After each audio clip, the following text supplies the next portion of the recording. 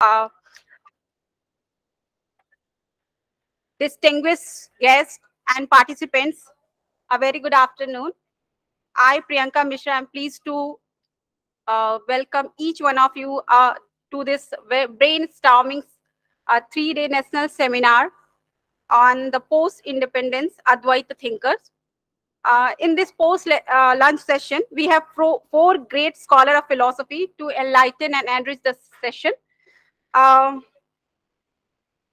so I welcome you all uh, in this uh, session. Uh, and I would request you to welcome them with a massive round of applause, please. Um,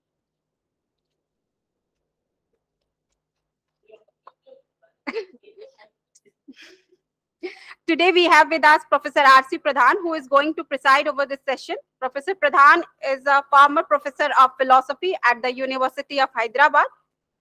Professor Pradhan has uh, expertise in the philosophy. No, don't. okay.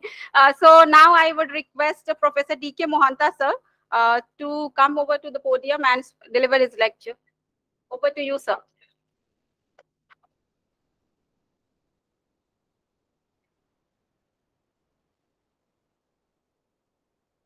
Thank you so much for giving me this opportunity to be here just now in post-large sessions.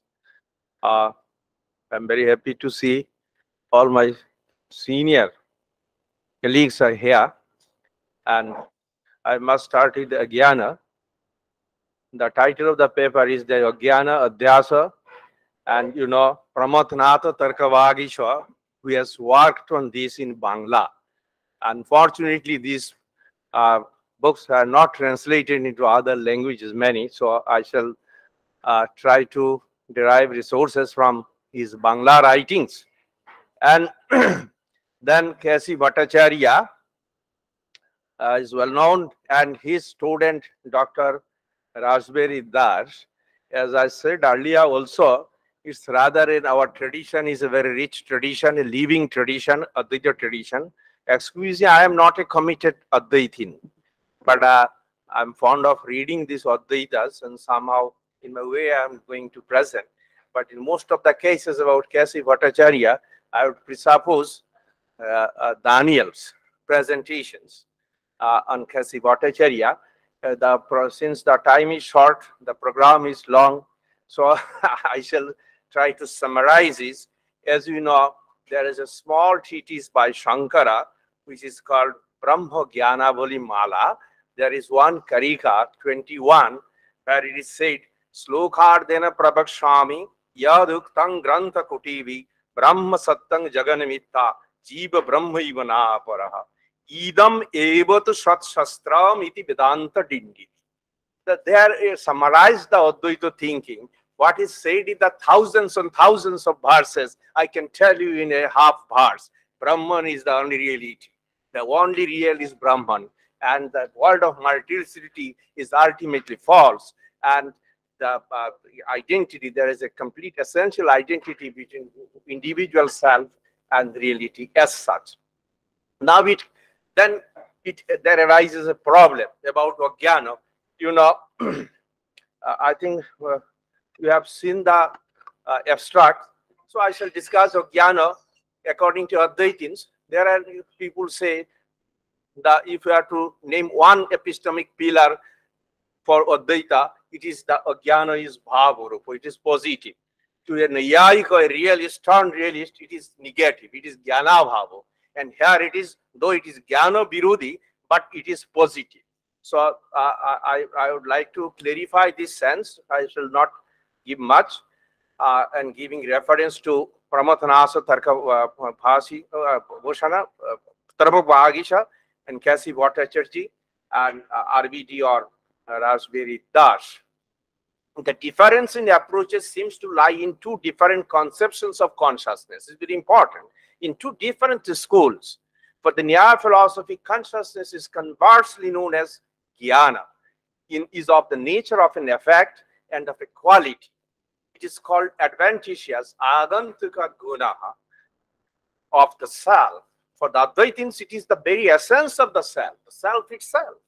The, this very difference in attitude I feel is the guiding principles in the treatment of ignorance as negative in Nyaya philosophy and positive in Advaita philosophy. It is also bearing in their respective approaches to the problem of error. And there, the paper proposes to justify this claim, which will use English term ignorance and superimpositions as equivalent to Sanskrit term agyana and adhasa, respectively. I'm not uh, uh, uh, uh, uh mentioning in details, but Brahman alone is real because most of the things I shall presuppose is the five part of the paper. I shall only read the last part uh, where K.C. Bhattacharya's contributions and there is a quarrel between K.C. Bhattacharya and R.V. Das. So this Sarup Lakshana, others, then Tatastha Lakshana we discussed in the morning sessions.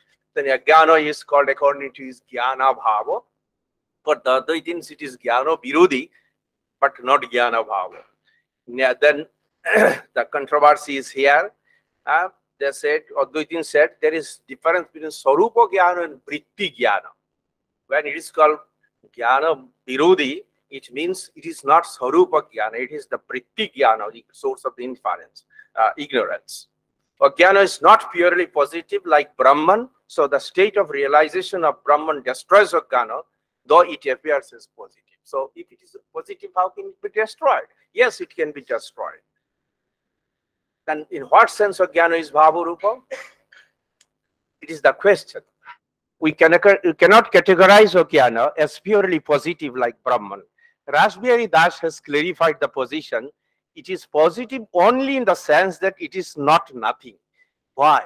If, if it is nothing, the world of multipl multiplicity cannot be created. You know, through Vikshepa Shakti, there are two Shaktis. One is one, one, one is Avarana Shakti, which covers the oneness of self. Then Vikshepa Shakti, it projects multiple ways. So Vikshepa, uh, uh, you know, so unless something is positive, it cannot uh, create this multiplicity. That's why it is positive in this specific sense, not in ordinary sense. Uh, then uh, I discussed, and it is also called yat kinchit, something. Now, Jnana is formless. There are debates. I'm not going to this. And also another important concept is Sakshi Chaitanya. There is a metaphor in the uh, Upanishads. One, the body is the tree. Uh, there is two, you know, pakshi, birds. One is only seeing, another is enjoying the fruits. So, Advait is introduced the Sakshi Chaitanya to explain the uh, paradox of Jnana. I am not discussing it here. Then Mimamsa view. Mimamsa says Nayayikas are very peculiar people here. I don't know whether Sachida, Professor Sachidananda Misri is here or not. Banaras is a place of Nayayika and the Vedantin. So I'm very here to tell you that Mimamsakas also said, no, the Nayayikas can see even if it is not here. So this is the position of the Nayayika by Vishesha Visheshana Bhava Sambandha. If there is no tiger upon the table, even Nayayika would say, yes, I can see it. The, the table is characterized by the absence of tiger. Directly, they don't say anything. They will do, do, do these things. This is the Nayayika position, I understand. And Mimamsakas also say, no, absence cannot be perceived. It is known through non-apprehension anupalabdhi. There are controversy, you know, about this. I'm not going into that. Only thing is that it is jnana bhava for the Nayayikas and for Advaitins it is positive, is, although it is Jnana Virudhi. So now debate continues. Uh, and Pramatnath Tarkavagish has given, uh, you know, very substantial arguments. He did just, just uh, justification even for the Nyaya view and also for the Vedantis just like a philosopher without taking part to any. If this is presupposed, then it will be the conclusion. If that is presupposed, then that is the conclusion. It's very interesting. Uh, then locus of ignorance, Sakshi Chaitanya, ignorance negating pramana. Advaita also replied this, that uh, knowledge for Advaiti, knowledge to knowledge journey. But the Nayayikas, not knowledge to knowledge journey. This is actually the different methodological approaches in two philosophies. Then problem arises. How K.C. Bhattacharya understands this? He said, you know, this can be proved by perceptions and inference. I'm also not uh, dealing with this inference. It's a little bit complicated. It will take time. So Jnana is anadi, but shanto, that it can be ended.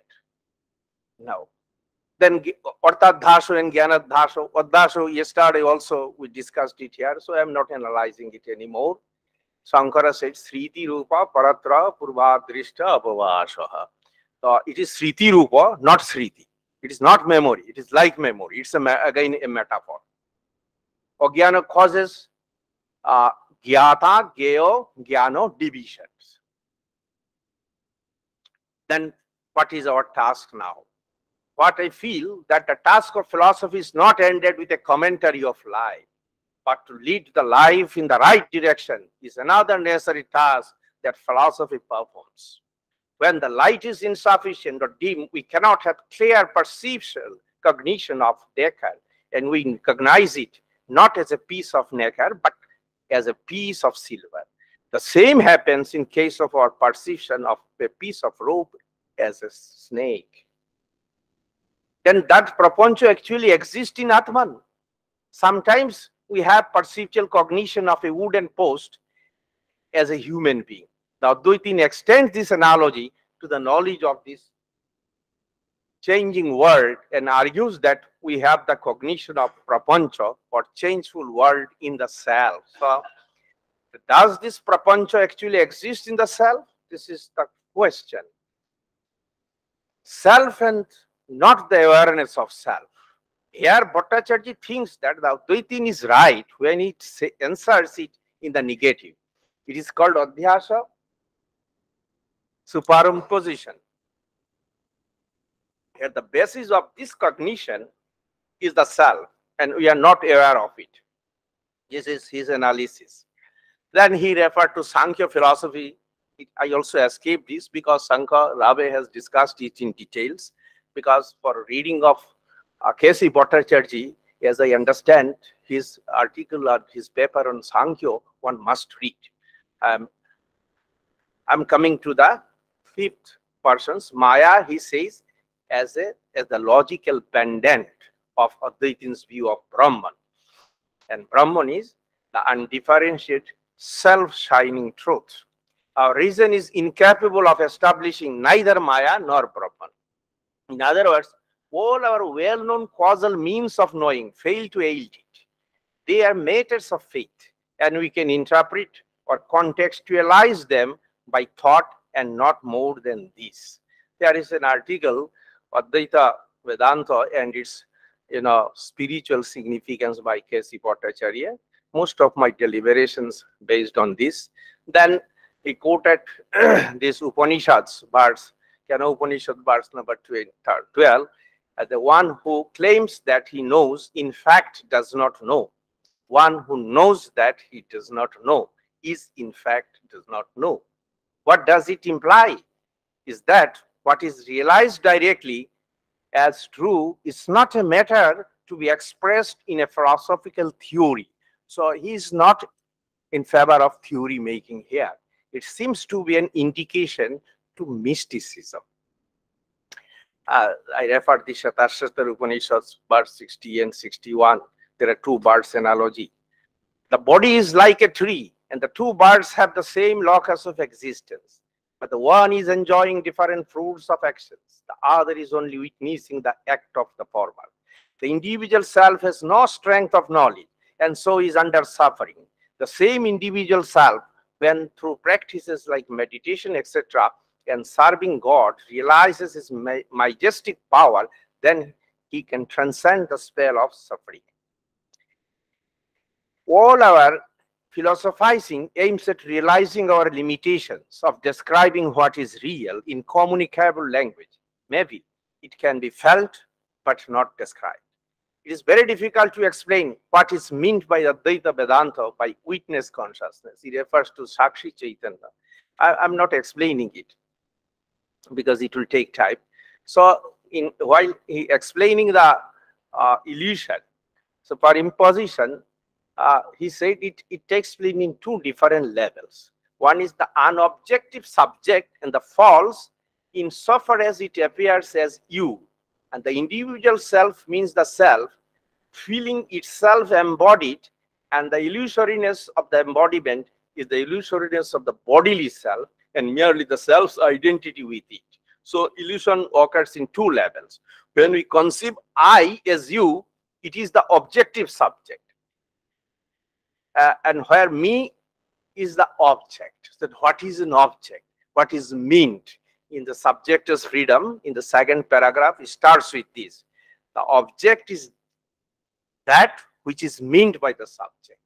It is there is no subject-object dichotomy uh, in K.C. Bhattacharya's Advaita Vedanta. Here I am rather aware of the body as simply felt. When afterwards I correct myself, it appears that it is my individual illusion. We conceive you as I, here under the spell of illusion, and the body appears to be a distinct and yet anyway I. Though we correct the first case of illusory cognition, we cannot disbelieve it. Question now comes, how is the subject in K.C. Bhattacharya's philosophy understood? The answer, it is understood only as a distinct and not different from the consciousness of it. It is freedom as such. KCB titles his paper, The Subject is Freedom. I'm giving some examples. From A is different from B. One can person to B is different from A. from A is distinct from B, we cannot pass on to B is distinct from A. Here one can pass one to B is different from A. So he's questioning the realistic position. Realism, whatever it shades, has failed to distinguish distinct consciousness from different object. This is KCB's view. Now, KCB, we can summarize it, what he says. to be conscious of oneself as individual for me is to be conscious of me, the me as illusory and the subject or I as truth. It is the illusion of the individuality that suggests the theory of objective illusion called Onirvachaniya Khyativad. Let us now see how the classical example of Rajju Sarpa, rope snake illusion, has been interpreted by Bhattacharya in the beginning of his essay Sankara's Doctrine of Maya. In such an apparent cognition, there are three stages. The first stage is the state of presentation of snake. We all believe that at that stage that it is real. The second stage is the state of correction that arises due to our perception of the rope as rope.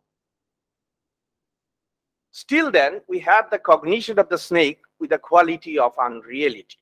The very first percept of the snake turns into a state of illusion as soon as we can affirm it as rope.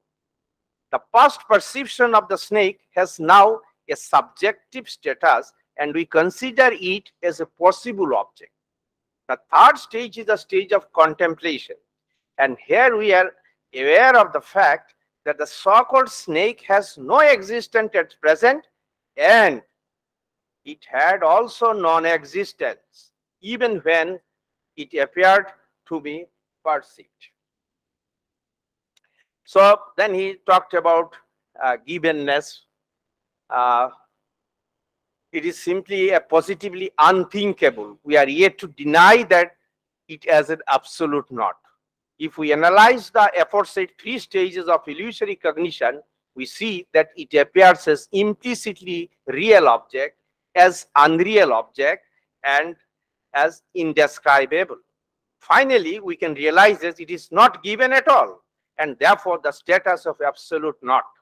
These three stages of illusory cognitions are connected to our ways of thought process, such as uncritical thought, critical thought, and faith.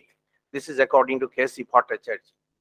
Now, uh, I don't have time. I have tried to criticize the K.C. Bhattacharya's point of view because he has given this right in his writing when he says no text of philosophy or religion is infallible. You have every right to criticize it. So I wanted, to, because of scarcity of time, I, I, can't, I don't want to continue it. Only I, I would say that uh, uh, it is anirvachaniya.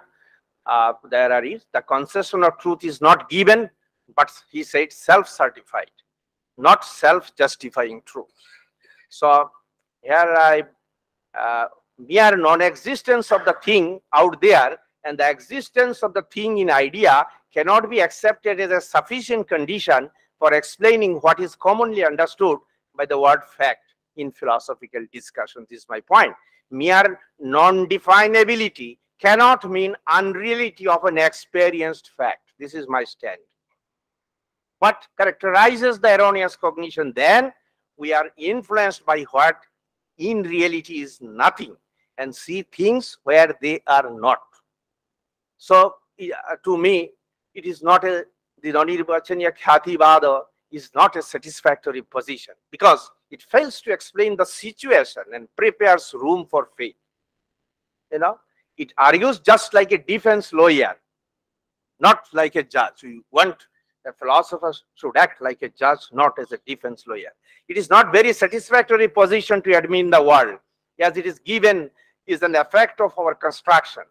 There is no guarantee that there will not be ground for uncertainty and deception in our act of knowing. It is argued that Anirvachaniya snake appears in the intuition as real and is subsequently rechanted as characterized by the hitherto locative attribute of Vyavaharikatta and the Advaitin must acquaint in psychological Anyatha They are criticizing the Nyaya of the Anyatha but they are when they are introducing the notion of Vikshepa Shakti, it is also indirectly recursing, taking place, taking help as Anyata Perhaps with an intention to hint this Rasbihari Das in 1925, a very young scholar in Amalner says, theoretical reasons may not be sufficient to save us from resulting agnosticism and doubt. I'm uh, uh, I, am I'm, I'm advancing an argument against Anirvachaniya Khyati here. According to Advaita, Anirvachaniya ignorance is the source of illusion. It has two powers, as I uh, explained earlier also. So a close and discerning reading of the power of projection indicates that it has the function of Khyati. The concept of Vikshepa itself is the unswearing guarantee for ontological Khyati. Now, possible positions. Is this in this sense when Advaitin objects to Anyatha Khyati as something which is both logically and psychologically impossible, it badly affects the Advaita theory of error also. The Nyaya philosophers claim that our causal instruments of knowing are competent enough to give us truth and they mislead us when they are having some defects. A Nagarjunian Buddhist would see it as an exercise in dogmatism in spite of posing a claim of apparent optimism or faith in dogmatism.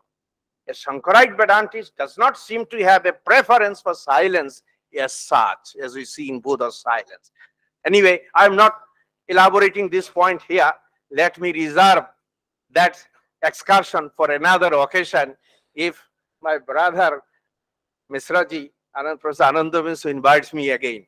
I shall I'm committed to for that excursion. Thank you so much for your patience.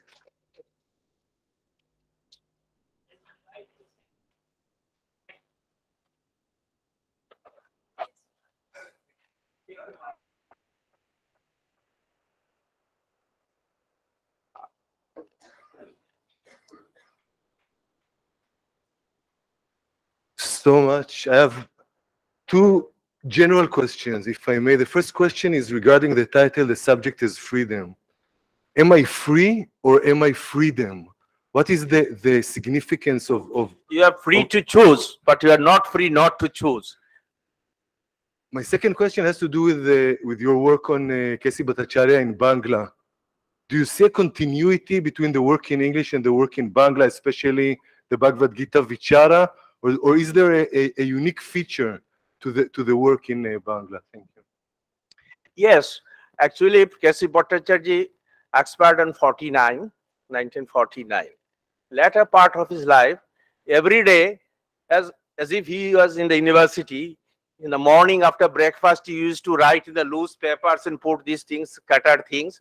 Later on, his son Kalidas Bhattacharya got all these papers. My my teacher's teacher, grand teacher, Sanat Kumar Sen, uh, he was supposed to type all these things and record. Sanat Kumar Sen gave me some of the rare manuscript during lockdown.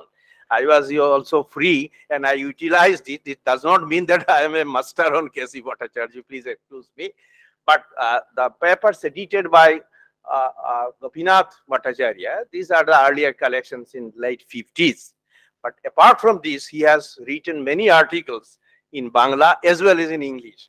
His treatise on Hinduism, it's a different type of things. Many, the- I, I find his Bangla writings are more original in a sense. But at the same time, I'm hearing you, his language is so terse in Bangla also, you cannot just change a word from here to there. And most of the times it is incomplete.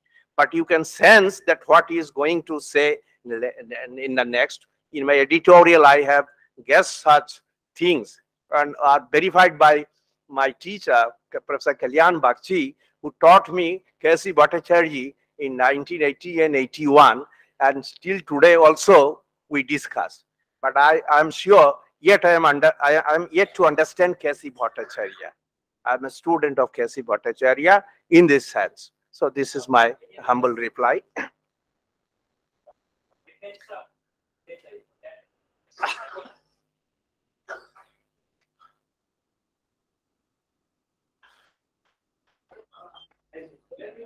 Professor professor DK Mohanta आपके paper में ना मुझे एक internal contradiction दिखाई पड़ा। वो internal contradiction इस तरीके से कि आप अज्ञान को भावरूप स्टैब्लिश करते हैं। नहीं मैं नहीं किया। वेदांत सिंह ने अद्वित वेदांत सिंह ने किया नहीं ये क्या क्या ये निगेटिव है? हाँ, अज्ञान जो है वो भावरूप है। और उसका बहुत सिंपल आर्गुमेंट है कि अज्ञान चूँकि अनादि है लेकिन वो अनंत नहीं है, उसका बाद हो सकता है, इसलिए उसको हमें भाव रूप ही मानना पड़ेगा। लेकिन बाद में जब आप अज्ञान को भाव रूप मान लेते हैं, और जब आप अपने पेपर में लास्ट में आप मेटाफिजिकल अन्यथा ख्याति को स्टैब्लिश करने का प्रयास करते हैं तो एक तरह से आप वेदांत के व्यू पॉइंट को क्रिटिसाइज कर रहे हैं, उनकी अनिर्वचनीय ख्याति को आप मेटाफिजिकल अन्यथा ख्याति में कन्वर्ट करना चाहते हैं। ये दोनों एक साथ नहीं कर सकते आप। या तो आप अज्ञान को भाव रूप मत मानिए। अगर आप अज्ञान को भाव रूप मान लेते हैं तो व्यवहार दशा में भी आपको मेटाफिजिकल अन्यथा ख्याति मानने का कोई फिलोसफिकल फ्रेमवर्क आपके पास नहीं रह जाता है। गलती कहाँ हो रही है कि आप रज्जु और सर्प के उदाहरण को एक्सप्लेन कर रहे हैं। लेकिन अद्वैत वेदांत में जब सर्प का बाध होता है, निवृत्ति नहीं होती है, जो विशेषता है इल्यूजन को एक्सप्लेन करने में कि वो निवृत्ति और बाध का अंतर करते हैं, जिससे घट बुद्धि जो है, वह पट बुद्धि से निवृत्त हो जाती है, उसी तरीके से इल्यूजन में जो सर्प बुद्धि होती है, वह रज्जु बुद्धि से निवृत्त नहीं होती है, बल्कि उसका बाध होता है, सबलेशन होता है। लेकिन सबलेशन के बाद भी जो रज्जु बुद्धि बची है उसका भी तो मिथ्या तो आपको सिद्ध करना पड़ेगा। और तब ये एग्ज़ाम्पल आपके लिए सुटेबल नहीं होगा। तब आपको फिर श्रीहर्ष के उस पद्धति को अपनाना पड़ेगा कि हम उसका लक्षण नहीं बना सकते। तब फॉल्सिटी उसकी प्रूव कर पाएँगे। और इस तरह से अंततः आपको अनिर्वचनीय ख्याति ही मानना पड़ेगा। मेटाफिजिकल अन्यथा ख्याति के लिए कोई स्कोप नहीं रह जाएगा। Any other? Yes, please. हाँ छोटा कर दीजिए। प्रश्न को जरा डायरेक्ट कर दीजिए। आपको बात होता है? मैं किसी भी प्रकार के ज्ञान का कभी बाध संभव ही नहीं है माना ही नहीं गया है। ज्ञान सदा अबाधित है।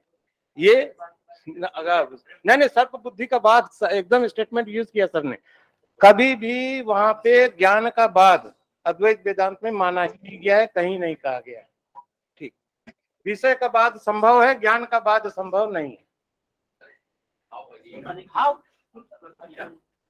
लास्ट प्रश्न रहेगा लास्ट प्रश्न मेरा है। नहीं, नहीं, नहीं, आपको कष्ट नहीं दूँगा।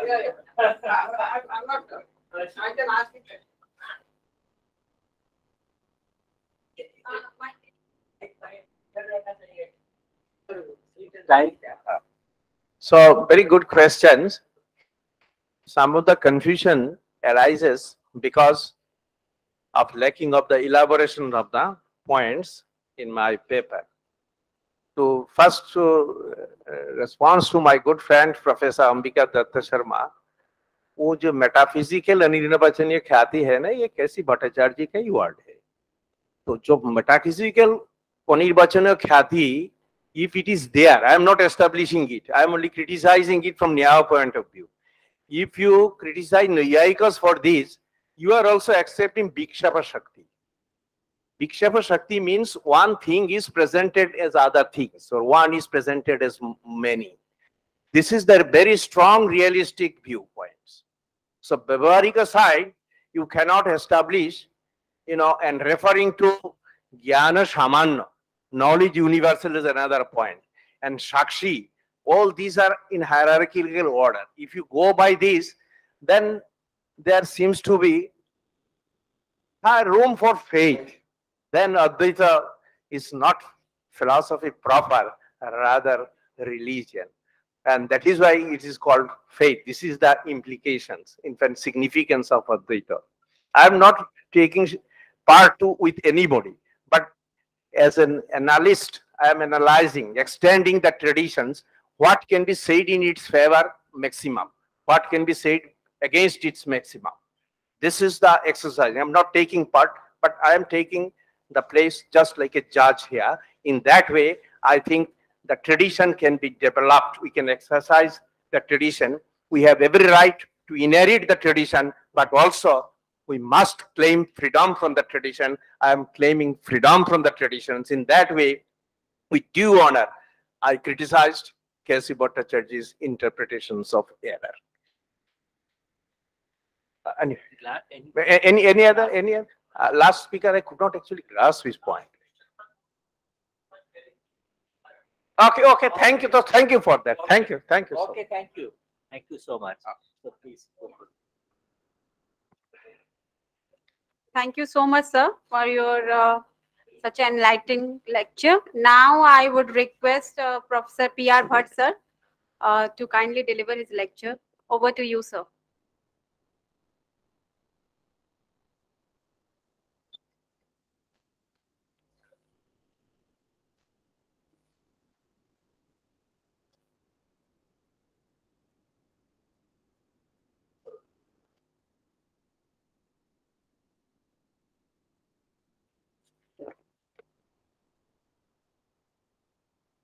Uh, Professor Pradhan and other scholars in the audience, as well as my co-presenters, ladies and gentlemen. This is an attempt, you know, the title I have given, it is not that way so important. The title is the basic structure of Advaita philosophy, some philosophical reflections basically what I have done is uh, taken from Radhakrishnan some insights and other insights from other scholars on Advaita. So it is a kind of, uh, well, com- combining the strength of several thinkers and trying to make room for Advaita as a kind of universal, universally acceptable spiritual approach to liberation. That kind of attempt has been made here. And uh, I would first clarify two, three terms, very technical terms, of course. The one is, uh, well, there's a more problem for the Western students, Western philosophy students, uh, the term idealism.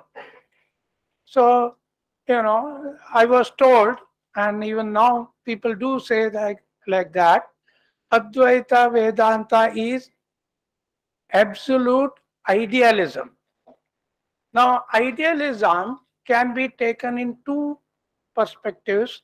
In one perspective, you know, which is thought or concept, you know, that kind of perspective. The other perspective is spirit or the experiencer or self perspective from the spiritual dimension. I would like to say that uh, Radhakrishnan talked about idealism in this sense that it is the spiritual that is the core of his uh, sorry Advaita philosophy. The second term that is problematic in the sense that it is misunderstood more often than understood. That is the term knowledge. Again, in the context of epistemology, people do talk about sources of knowledge, pramanas, and uh, pratyaksha, anumana, shabda, and so on up to six pramanas are really talked about. Not all schools would accept all these six, but nevertheless, some schools or the other would be talking about these six pramanas. And what is very relevant and very core of the, you know, why you call Advaita or Shankara's Advaita is path of knowledge to the liberation. Now, knowledge here, there is another term which uh, not very frequently used, but nevertheless, some scholars have emphasized that Brahmanubhava, that is a kind of experience.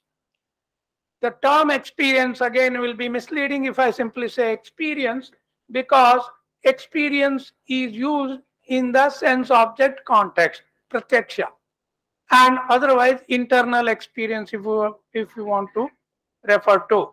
But Brahmajnana, of course, some scholars claim that Brahmajnana comes from only Shruti.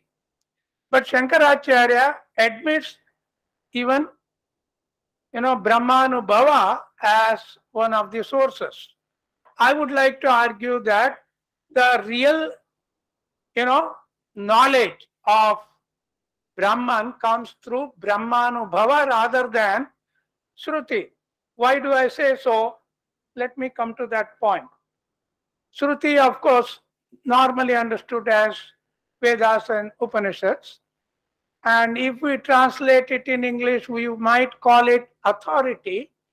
And if we take it as authority or Shabda, in that it is not only Shruti, that is Vedas and Upanishads, also trustworthy, knowledgeable person.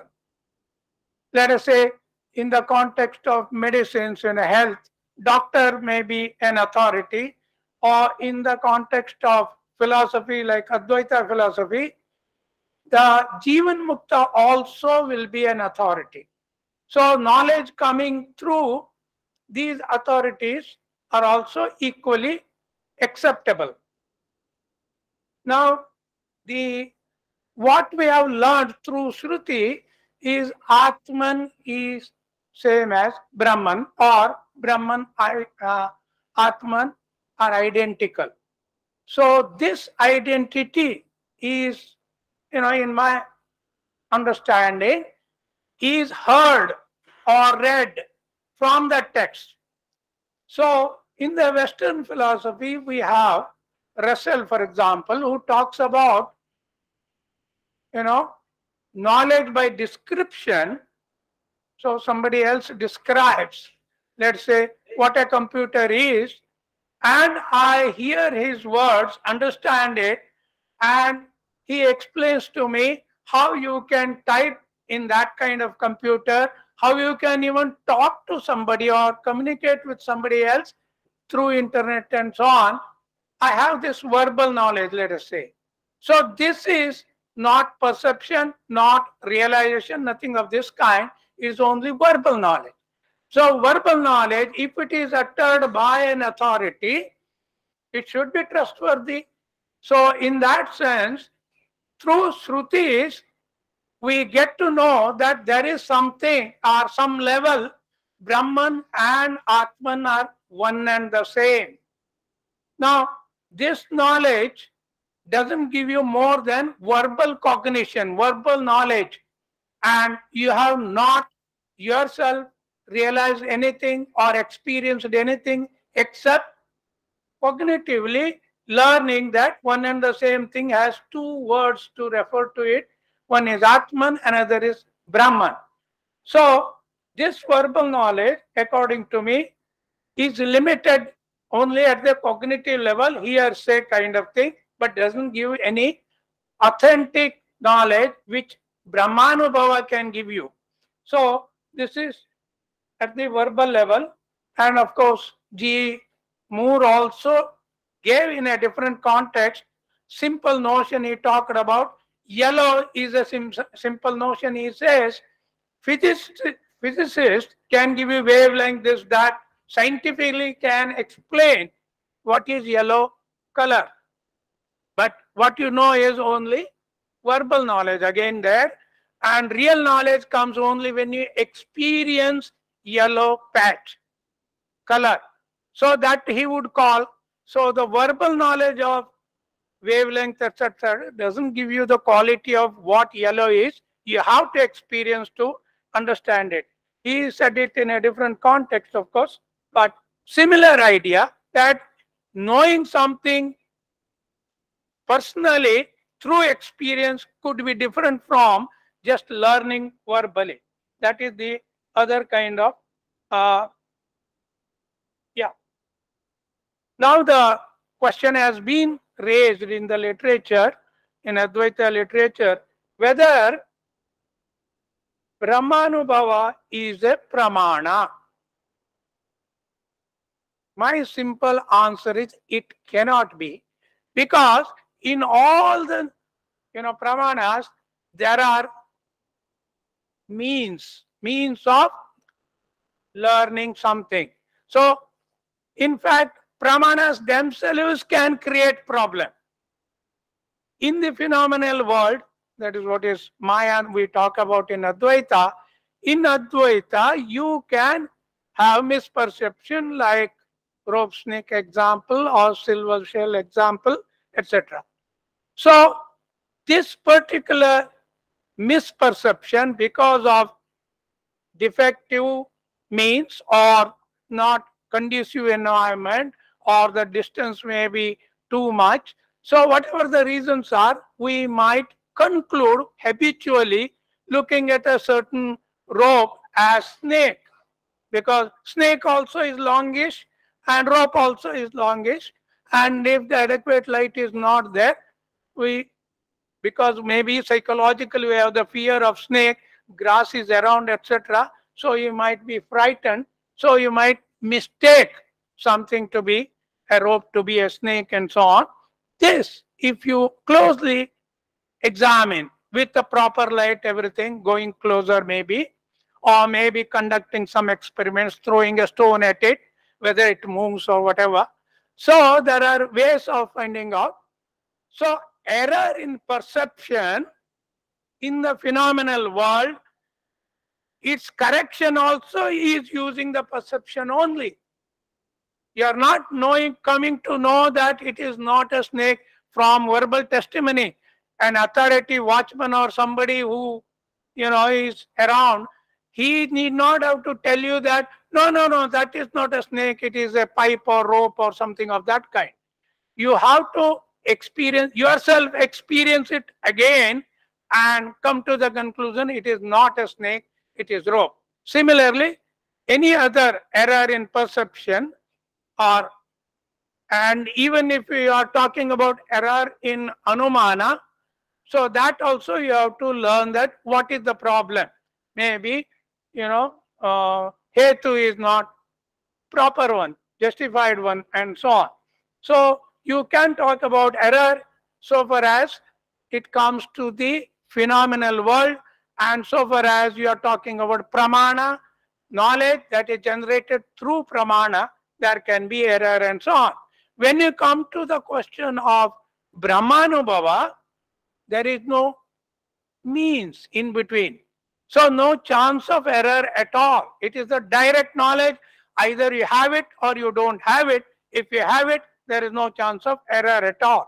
So in that sense, I would say that Brahmanubhava has to be kept distinct and unique and you should not ask the question. In fact, asking the question whether Brahmanubhava is a pramana is an indication you have not understood what is Brahmanubhava. So that very question that debated, there is a long debate, of course. I'm not going through all that. And uh, therefore, this particular raising the question itself is an indication that one has not understood. So Brahman, Brahmanubhava, if that is the kind of, uh, you know, knowledge, certainty, if you are having it, then, you know, the theory of error in Advaita seem to be a problem again. For example, anirvachaniyatva, uh, anirvachani, anirvach, uh, anirvachaniya khyativada. So now this is a kind of, again, a problem as far as I could see. So Maya, while talking about Maya, Maya is Sat, Vyavarika Sat. That is, you know that something, you know, all of us have that ordinary notion of, you know, reality. See, please look at this. In Advaita, like any other thinker, has the liberty to use the term real in a certain way.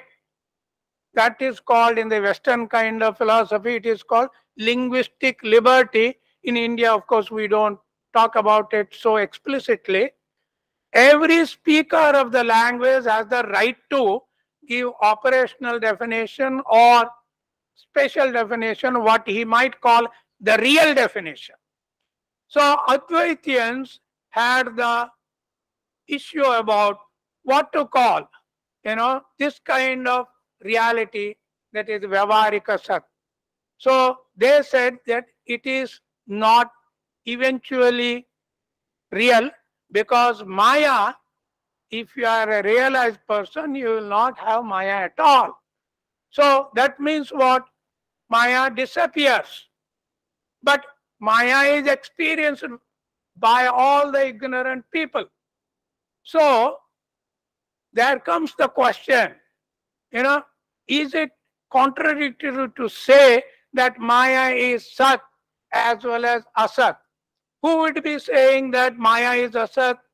Only those who have realized the Brahman, those who had Brahmanubhava.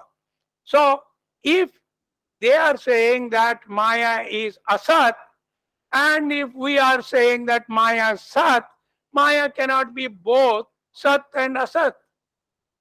It is a contradiction. In logic, Western logic especially, you know, when they say tautology is always true under any interpretation and contradiction is always false under any interpretation. So following Western logic, we would have concluded Maya is false. But in uh, Advaita, since we are in the Vyavarika level, so it is Sat. So who will say that it is Asat? It will be, you know, Jivan Muktas or Shankaracharya himself, let us say, or maybe Shruti. So therefore, there arises the question, who is asking this or who is giving this description that Maya is indescribable? It is the only realized person or Vedas, Upanishads. So, but ordinary person doesn't know that it is asat at all. Because if he thinks that it is asat, then he cannot think of eating his dinner. Because dinner is also maya, it will vanish. So for all practical purposes, that's why Naiyayikas would call the, this world real. Whereas Advaitins will call this as mithya at a certain level. So, therefore, the question who asks, if you ask that question, that question has no locus at all. Those who are Jivan Muktas need not have to ask this question about Maya, whether it is Sat as well as Asat, because they know it very clearly, it is Asat. So question doesn't arise. So indescribability to Maya need not be ascribed at all by anyone, because the people who look at Maya, it is real for them, therefore it is Sat for them. They don't know the transcendental reality at all. So, Nyaya real is Advaita Vyavara Satya. And Advaita real, nobody knows. And even if you know, you cannot use any language to describe that. So, that is the kind of situation that we land in. So, therefore, this Anir, you know, this so called error about the Maya would not arise at all. It will not be an error at all. So only it will be error if at all for Jivan Mukta, who is also knowing Vyavarika Satya as well as transcendental reality. They can say it, but then why should they say it if they know that it is going to mislead? So therefore, there is no occasion to even use uh, this kind of terminology.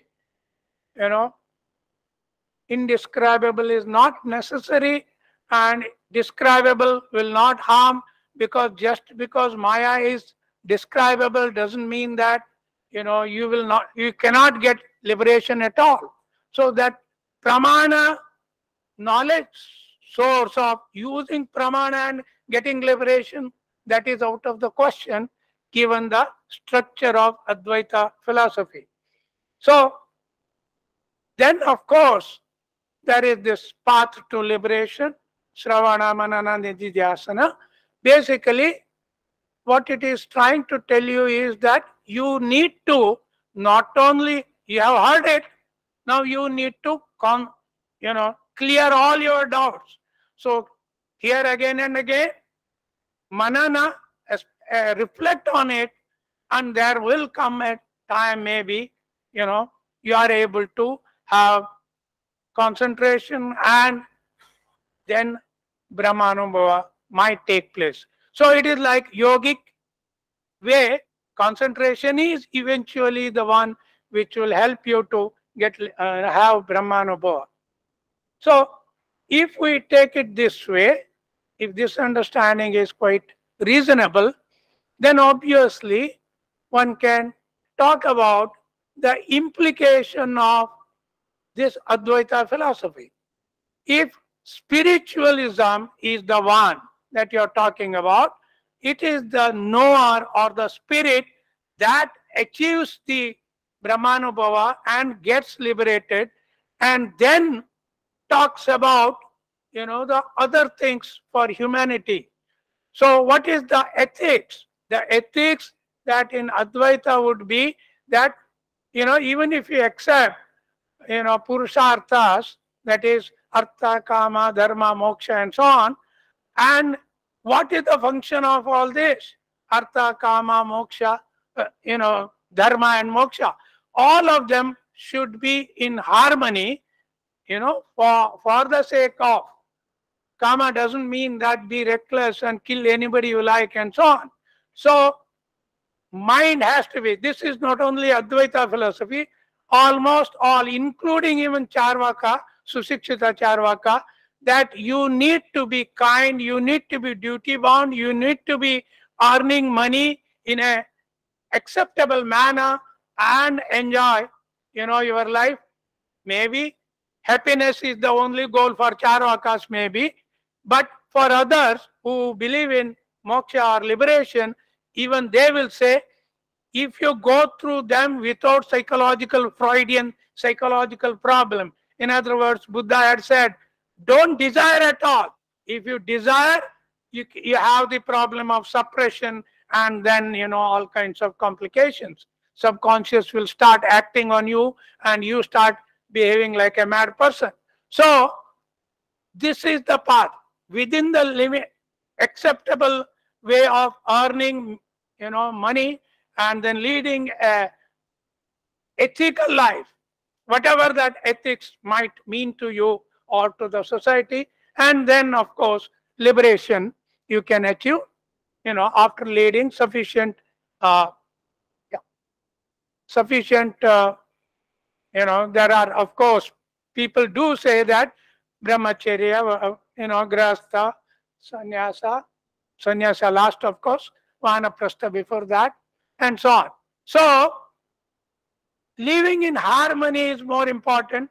And then next, in order to live in harmony, you need to care for, you know, environmental ethics and environmental ethics. These days we understand very much because it is creating havoc. We need to, you know, sort of maybe don't have wars and so on, or don't burn forest or staple in, you know, Punjab and Haryana and so on. So if you live in that kind of environmental friendly, caring for earth, caring for other human beings and so on, so you can be living happily and anyone here in the morning I had a kind of, you know, note saying that, look, it is Advaita is not a universal religion, but Advaita is universal philosophy, spiritual philosophy. Religion is misunderstood in many ways, and one of the core things will be you have a deity, you will have a deity, and then you have some kind of rituals, this, that, prayers, whatever manner in which you pray. In Advaita, there is no prayer of this kind if you have realized Brahman, because you are free from all the rituals and all kinds of constraints which we generally find in common man. Thank you very much.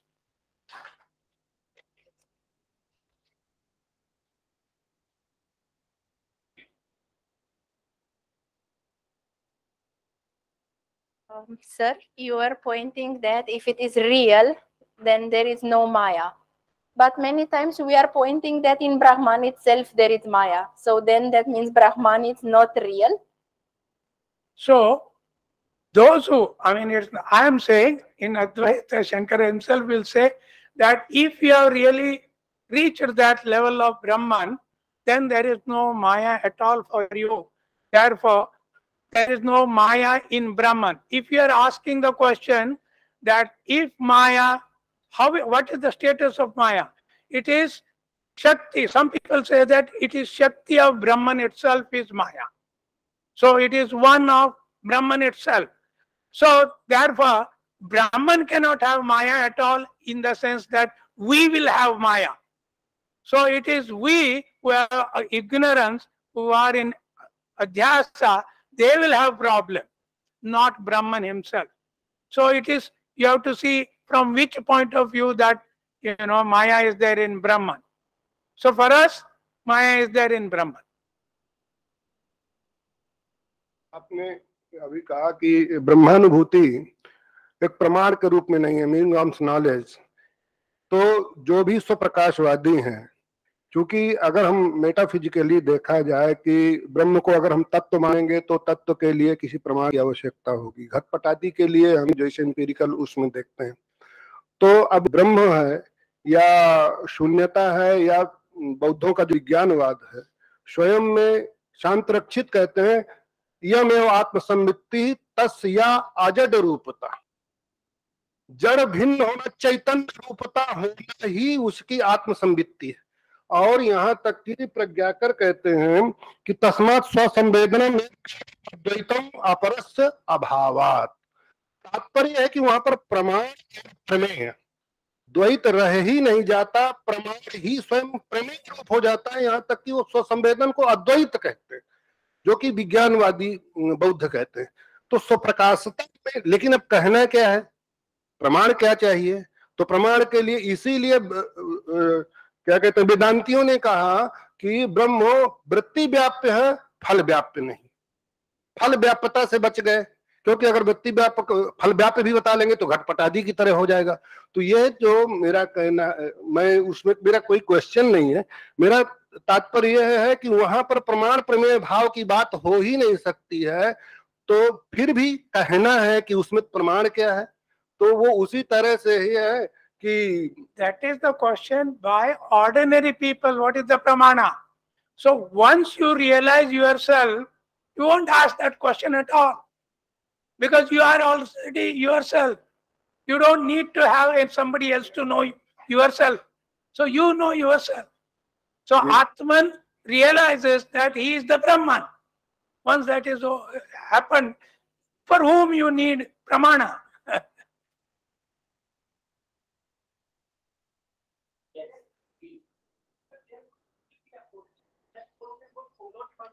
We say कि मैं professor DN Tiwari sir से पूछूँगा कि बनारस के पान का test कैसा है? So he will have to tell me and if he will not tell me he will say कि खुद खाना पड़ेगा। अब मेरे बस की खाना है नहीं।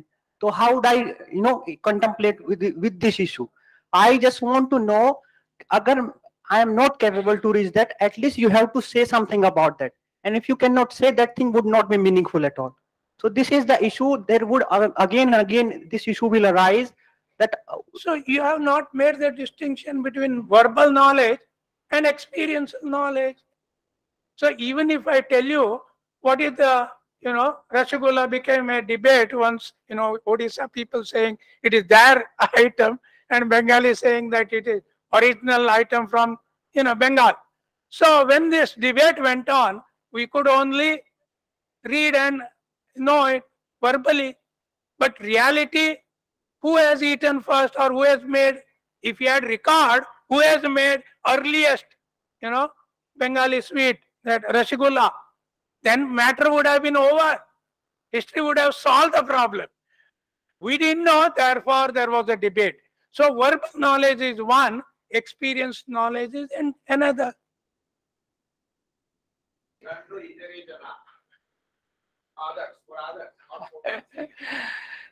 Uh, बस एक लाइन एक लाइन या एक मिनट एक minute. All this the entire plurality within Vedanta also there are very variety and they are clashing with each other whether it's Buddhism और वेदांत और any one they have internal वो लड़ाई internal भी करते हैं, बाहर से भी लड़ते रहते हैं। There is a line Chandrakirti has caught.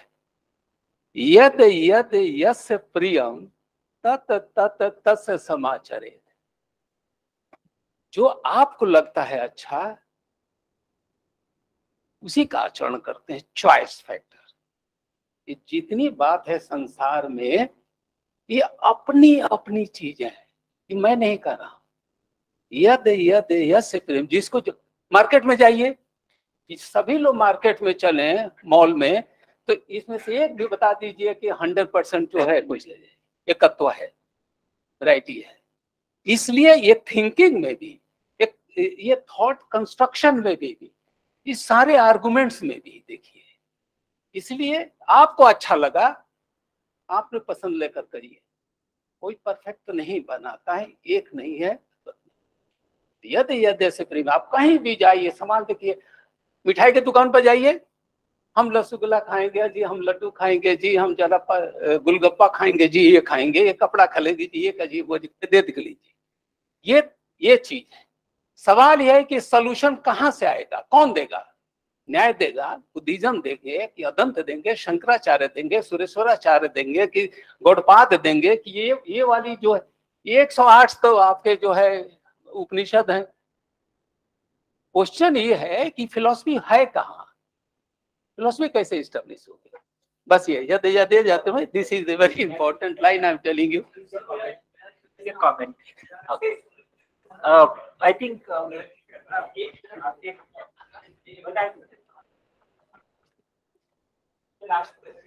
Oh, yes, yes.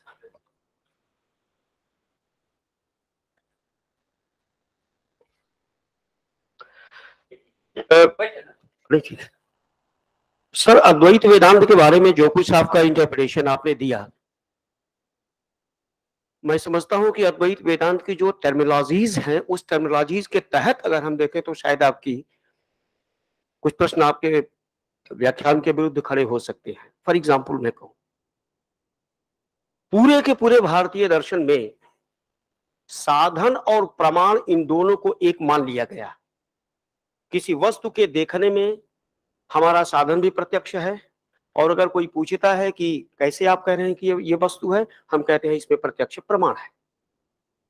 तो साधन और प्रमाण इन दोनों को एक साथ हमने करके व्यक्ति को बता दिया कि आपने प्रत्यक्ष किया है देख लीजिए। उसने मुझसे पूछा कि कैसे आप कह रहे हो तो हम कह रहे हैं क्या बात कह रहे हैं? आप प्रत्यक्ष ही प्रमाण है इसके बारे में। तो एक तो साधन और प्रमाण इन दोनों की स्वीकार्यता भारतीय दर्शन के प्राय सभी संप्रदायों में हो गई पहले। इसीलिए शायद प्रमाणों के, प्रमाण के संदर्भ में जब भ्रम के सिद्धांत की स्थिति आई तो हमें प्रमाणयवाद की आवश्यकता पड़ी कि हमारा प्रमाण प्रामाणिक है कि नहीं है, उसकी परीक्षा के लिए हुआ है। अद्वैत वेदांत में जिस लेवल की बात की गई है, उस लेवल तक तो प्रमाण की, जहाँ तक प्रमाण की पहुँच है, वहाँ तक प्रमाण की बात की गई। माया का जहाँ तक संदर्भ संदर्भ है, जो मैंने समझा है माया को, अद्वैत वेदांत में माया जिस तरह की परिभाषा के माध्यम से उसकी व्याख्या हो रही है, अगर हम लिंग्विस्टिकली अगर देखने की कोशिश करें तो माया एक लॉजिक है।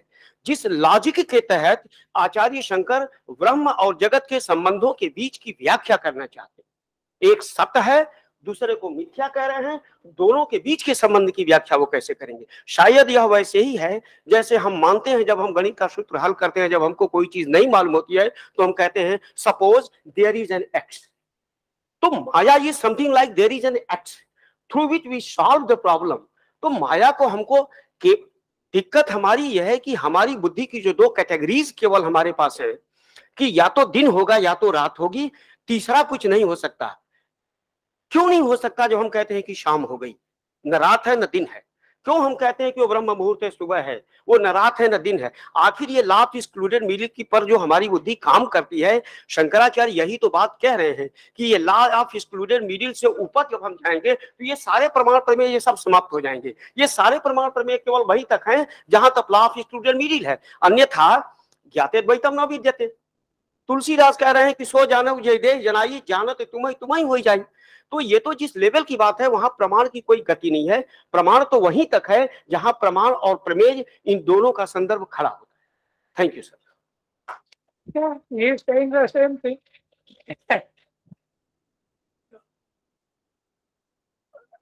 Shall I take?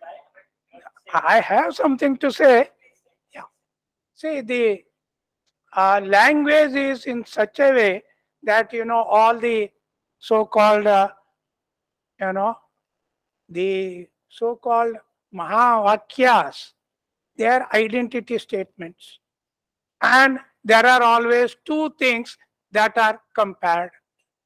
So in verbally, you know, when you say Tattvamasi, so two things have to be put in sentence and say it is one.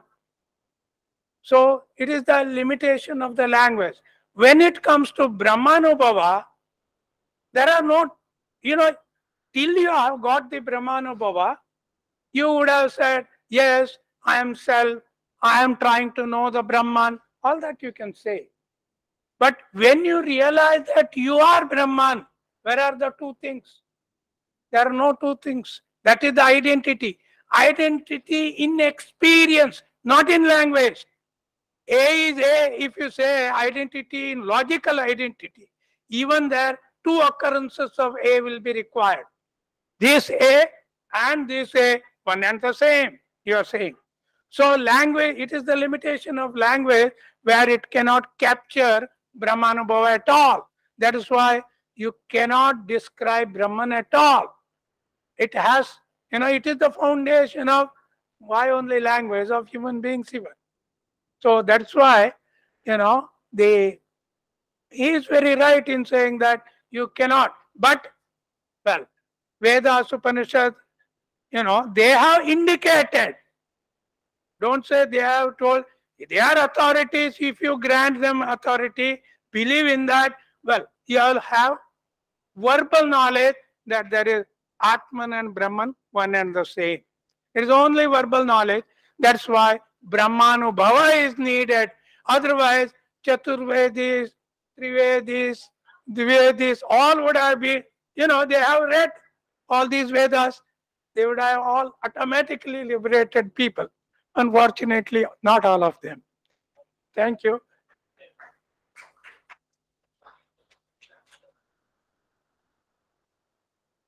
Thank you so much, sir, for your wonderful lecture. And now our next speaker is uh, Professor Godabrish Mishra, sir. I would request you to come over the podium and deliver the lectures. Over to you, sir.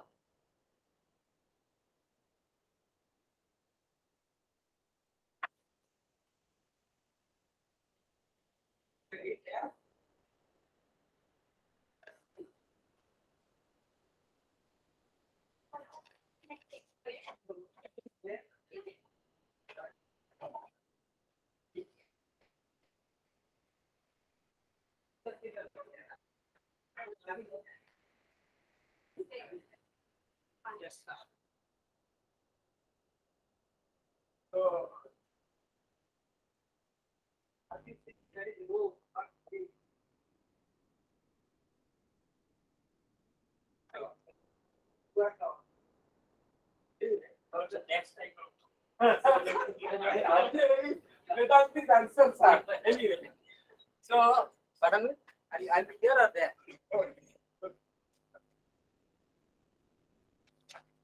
Uh, so, uh, थोड़ा आओ check कर दीजिए हाँ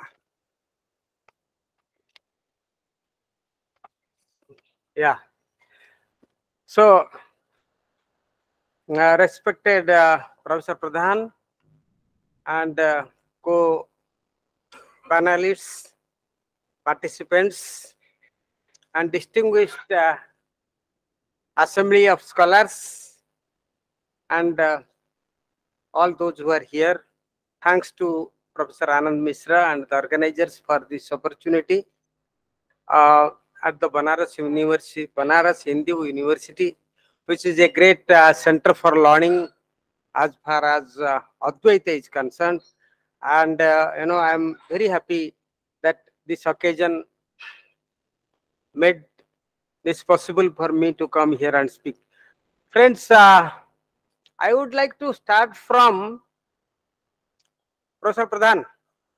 I would like to start from one observation Professor Pradhan made, either intentionally or inten unintentionally, I do not know, but at a, a presentation in Surat, he said that India was not subjugated in every aspect. It was only subjugated politically. Large number of large part of its culture was not not subjugated. At many parts of the country which is why this this subjugation in the total sense was not visible to us. Like we are not political, still there is a lot of things in which we do not we, we are not subjugated one is this uh, philosophical subjugation because many people in our country never thought they are eroded or their thinking was misrepresented by the others because they do not know what is happening to them in other parts of the world. They were not bothered who they told what. And that is why there is no subjugation. Subjugation is only a, you know, as a mental thing. Physical subjugation was there political subjugation was there. But cultural this so-called if you bring philosophy if you, are, if you permit me philosophical subjugation was not there. Very important. Uh, did you get it from some other book or it is your one uh, uh, do you remember that you said something like that? Yeah that's right.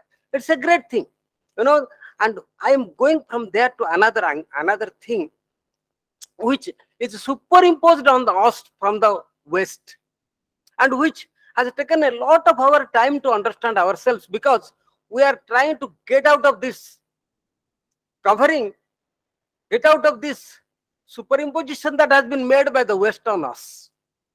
And a large part of the modern Advaita, like Advaita after independence mostly, before also, has been, you know, because of such a thing of our tradition being read by the West and why did this happen and even today there are large number of people there is many scholars in our country who say that this is wrong this is wrong and you know uh, the, the, it is another problem to be discussed. My, I come to my second point, which is miscommunication and non-communication. Friends, I would like to tell you, when Shankara wrote a text somewhere in the South India, the commentary was written in Nepal, near Nepal, Darbhanga, by Vachaspati Mishra. And when Vachaspati Mishra wrote Bhamati on Shankara Bhashya, okay, and when Bhamati was written, a commentary is written by Tamil Nadu, in Tamil Nadu by Appaya Dikshita. And when he writes something, a commentary is written in Gujarat by uh, Ananda, Ananda Bodha. You know, see the country, how what type of communication was going on, and see today. We are in a, with all the communications, we don't have communication. Like it is mainly because of on understanding. Sorry, no, like it is, it is another point I am coming to on understanding and misunderstanding even by the West. We are only jumping around the words because there is language support is not there. When Professor Bhat was telling, beautifully was telling. Like, you know, linguistic liberty. You know, we have some linguistic liberty, but this linguistic liberty is not a, only a Western thing that is there. Even now in our tradition, there is a lot of linguistic liberty we have taken to.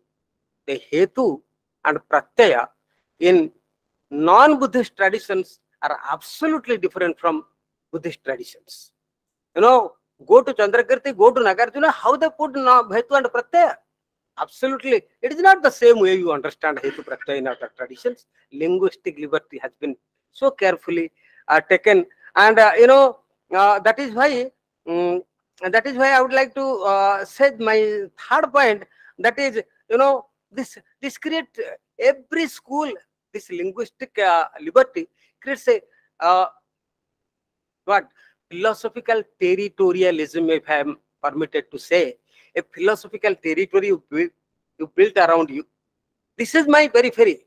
You know, even if you see the Buddhist, and Nagarjuna especially, or Asanga, you see, and Advaitins, this is our periphery. Naiyayikas, like, don't like don't try to deal with this in this way. This is what I meant by this. He says what he means, then you come to the philosophy. This is hard thing I would like to say, and therefore, you know, the most of the see, Dr. Prasad was telling that why this, why so much of fighting? Professor Prasad, I wanted to tell you, tell everybody with like I'm not going to my, my paper if time does not permit. But one thing I wanted to tell you, when we talk to each other from different angles, we learn. We don't, we don't, I don't say, oh no, no, Prasad, what you told is wrong. No. Please, uh, Sanjay. So uh, when I learn from you, even if I get defeated, there is a very famous anecdote between Nagasena and Milinda. Nagasena the saint is talking to Milinda and he says, Your uh, lordship, Milinda is the king. When two kings fight and one is defeated, the other say, Kill his head, ki- uh, uh, chop off his head, kill him. When we two scholars fight and one gets defeated, the defeated person feels obliged to the other and learns from him. It is a give and take. You know, it is not like two, two, two, two chickens or, or two bulls fighting. Everybody learns and feels good. It is an evolving thing. That is what has happened in and through the philosophy. And uh, one more thing, one more point I wanted to tell. Now, many people say that Indian philosophy is dead. There is nothing that is happening, especially Professor Prasad. He, he always says after 15th century, why is Indian philosophy? And I don't know, Professor Pradhan was there. Professor Pahi and uh, Professor Prasad was a physical fight in Bhubaneswar about these things. He told that, do you think that uh, K.C. Bhattacharya is not a philosopher? Aurobindo is not a philosopher? What do you know? He, he, he simply abused him. I, I want to tell you, like, they're all great people, there are no more there. With these things, friends, I would like to bring you bring before you a very brilliant item to which two of you already have given a reference. Daniel gave, um, Dilip Da gave, or all of you gave, Professor Malkani. It comes from a place which was not funded by the any king, any uh, government uh, institution, because why I am telling government institution, Professor Tiwari, we had lot of scholarship, no money. Lot of money, very less scholarship. When teeth is tooth are good, coconut is not there. When coconut has come, no tooth to die. So that is the state we are on. So anyway, Professor Malkani, not that it is a bad scene, it happens now and then. We are, I am very hopeful that we will be able to do much better philosophy in the days to come. We have people who are great, very creative people. You know, therefore, you know, the, the, as I told you in the beginning, the language problem, and therefore I all the times feel that how important it is that we must speak in our native languages, Hindi. And that is why I always feel that just because Sanskritic philosophy has not been practiced does not mean that it is not practiced in other languages, other ways.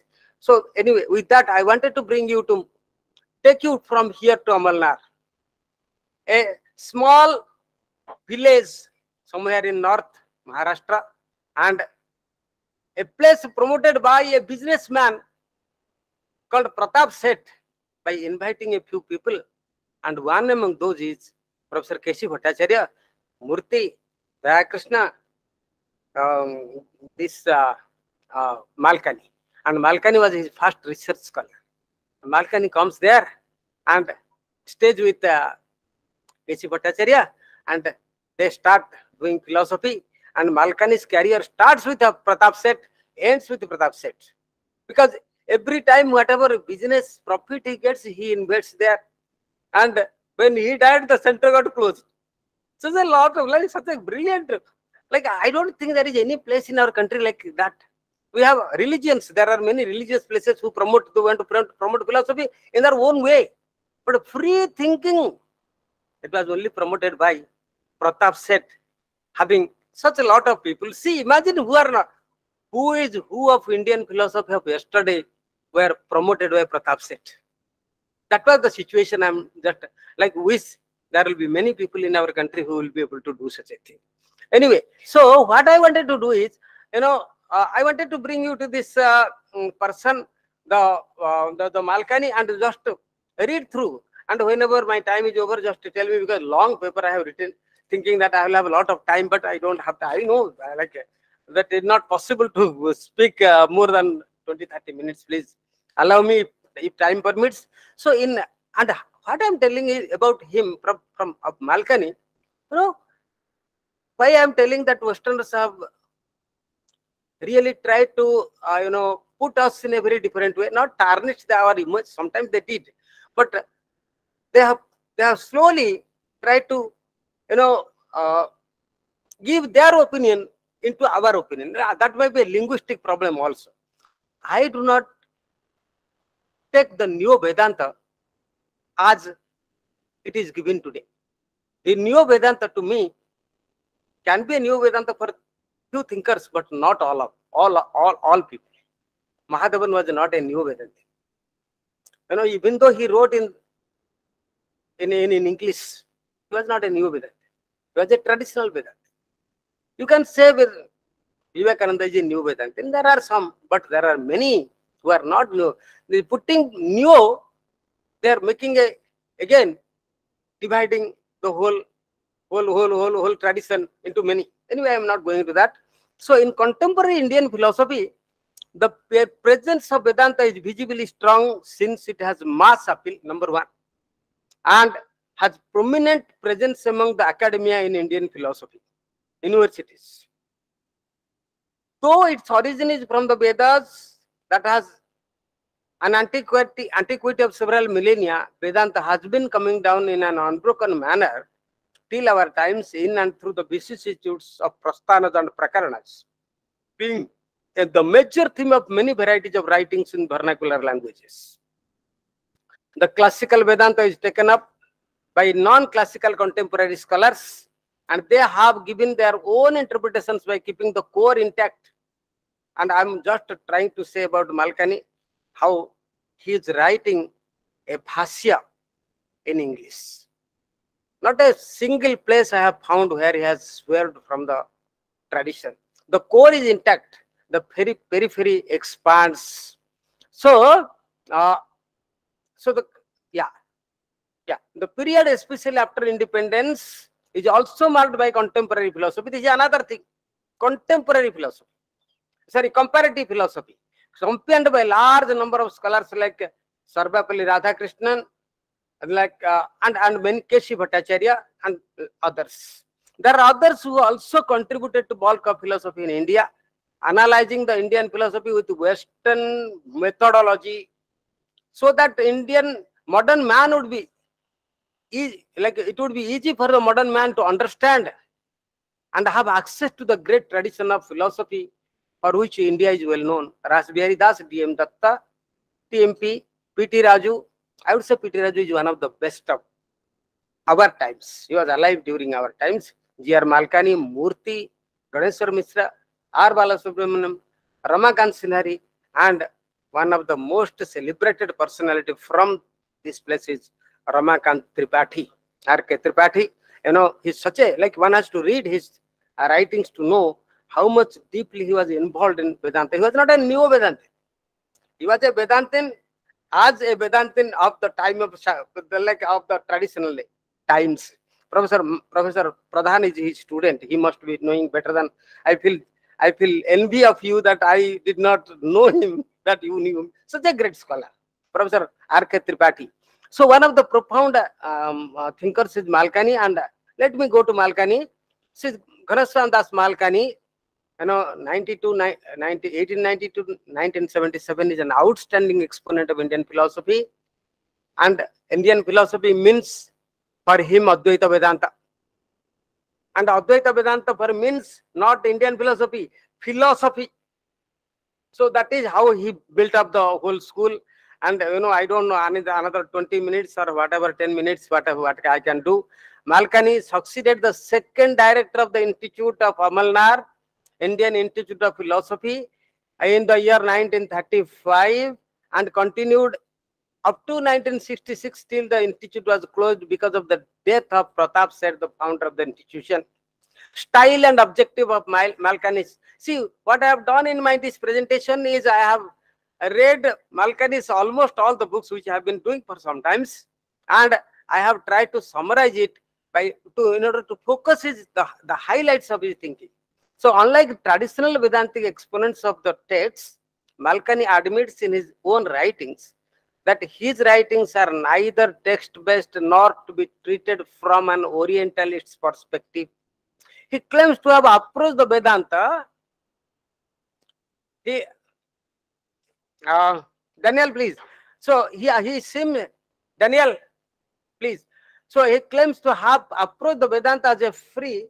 Time? Okay. So I think I will read the conclusion. Okay. So uh, so uh, you know I'm I'm just in the first page and uh, so what he is doing is doing philosophy the method and content. This is what five minutes are there. So let me tell you something before I conclude. Uh, like uh, uh, he says that Indian philosophy is not a view of life; it is a way of life. And uh, so uh, he makes uh, he makes like a candid confession as to how philosophers conceal their ignorance in their conceit and shows that there is scope for presenting the subtle philosophical thinking in simple language without clothing it in jargon and making verbose statements. So this is uh, one of the major things and intention, intuition and knowledge in Vedantic sense. He brings a word called intuition and gives a lot of meaning into understanding that what is intuition. So one of the essays, intellect and intuition, Malkani deals with two questions. Is intuition a distinct mode of knowledge or is there an intuition of the ultimate reality? So this is being discussed and uh, Malkani says like uh, can the question as to how we understand the content can be answered if we say that it is the the the knowledge it's, is its own content. So and it knows nothing apart from himself. And in this sense it is ever realized and ground of all knowledge and in another uh, essay malkani says that if there is an intuition of the ultimate reality that reality cannot be distinct from the intuition of it. And intuition that we do not have at present can be differentiated from the intuitions that we have. Uh, and its content it cannot be non-relational as it would involve subject object distinction. This relation is another point that has to be uh, very that that has been very critically analyzed. Hence there cannot be an intuition of the ultimate uh, reality if it is an intuition which we did not have. Please see therefore what is the content of brahman knowledge? Is it without a, a devoid of everything or it has some content? And therefore he, he quotes you know he did not quote. See one thing that i found in uh, um, malkani the many times what he says you can bring the paragraphs from shankara and try to see that it is an analysis of that paragraph. It is analysis of that idea. So here he is trying to explain he has not written this is my reading. The Advaitan's idea of impartite mode akhandakara vritti jnana against the against the vritti jnana in explaining his uh, his uh, his idea of intuition. And what is the relation between knowledge and self? That is another problem he brings in. See he says that self is non-relational. How he has done i, I have not not much time therefore i'm not going into that. But the questions i, I just raised like which i would not be able to explain is the self a real substance needed to account for knowledge? Or is knowledge identical with the self or distinct from it? These are the two things he is discussing. Uh, then the third point you know uh, like here also he goes to say like is there is there any content of the this knowledge? Or there is no content? He brings in what shankara says nayam ekantena avishaya this is a very important thing that you cannot say it is devoid of all the contents. Like this is the main thing he, he wants to he brings out. And uh, i am very quickly coming to my uh, then another very important point he brings in can there be a philosophy without presupposition? The same logical positivistic idea that metaphysics should be you know uh, like uh, uh, the, the, the, there is no, no no point in appreciating something which has been spoken in terms of metaphysics. And malkani is dealing with that that there cannot be any thinking without any presupposition. That you know i wanted to add to that that that there is no presupposition itself is a presupposition. So uh, deals with that and he says uh, malkani tries to conclude that the truth is absolute and ultimate in imman, uh, ultimate is immanent in our uh, experience and is self-evidently true it involves no presupposition all presuppositions are warded off, are discarded, and it can only be seen in Vedantic parlance, it is aparoksha jnana. This is very important. Aparoksha jnana. So, so therefore it is not mystical. You know, mysticism will have something which, you know, how can how can you say that I see something, I know myself, how can it be, how can it be uh, like a mystical? Mystical means something which is uh, difficult like uh, not uh, you you can always if mystic his way of putting it is that what you see oh yes sir i am i'm coming to my so internal implications of philosophy there is another point i'm i'm just uh, going uh, fast sir. Uh, 2 minutes you give me. Um, so authority of the shruti. This is another important point which malkani brings before us is the authority of the shruti. Shruti, and here I wanted to tell you one thing that which Mohanty says, you know, as a footnote as to him, he says, what is Apurusha? Like a, uh, Professor Bhat was dealing with? That. He was telling that when it is a statement of fact, it is a Apurusha.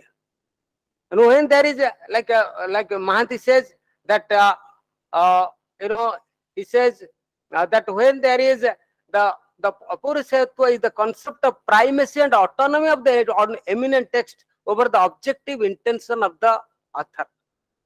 The objective intention of the author and preeminence of the text is something which he takes. So, uh, so that is what one thing I wanted to tell you.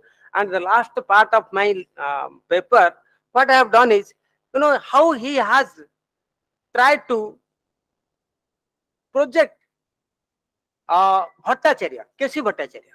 What he is doing is, he has a lot of in the book beginning, all the books will have K.C. Bhattacharya because he was he started his career with K.C. Bhattacharya. But he says, if there is anything where K.C. Bhattacharya departs from Shankara, I am not with K.C. Bhattacharya. You know very clearly, he uh, G.R. Malkani, T.R.V. Murthy, Bihari Das, you know, they together wrote an article.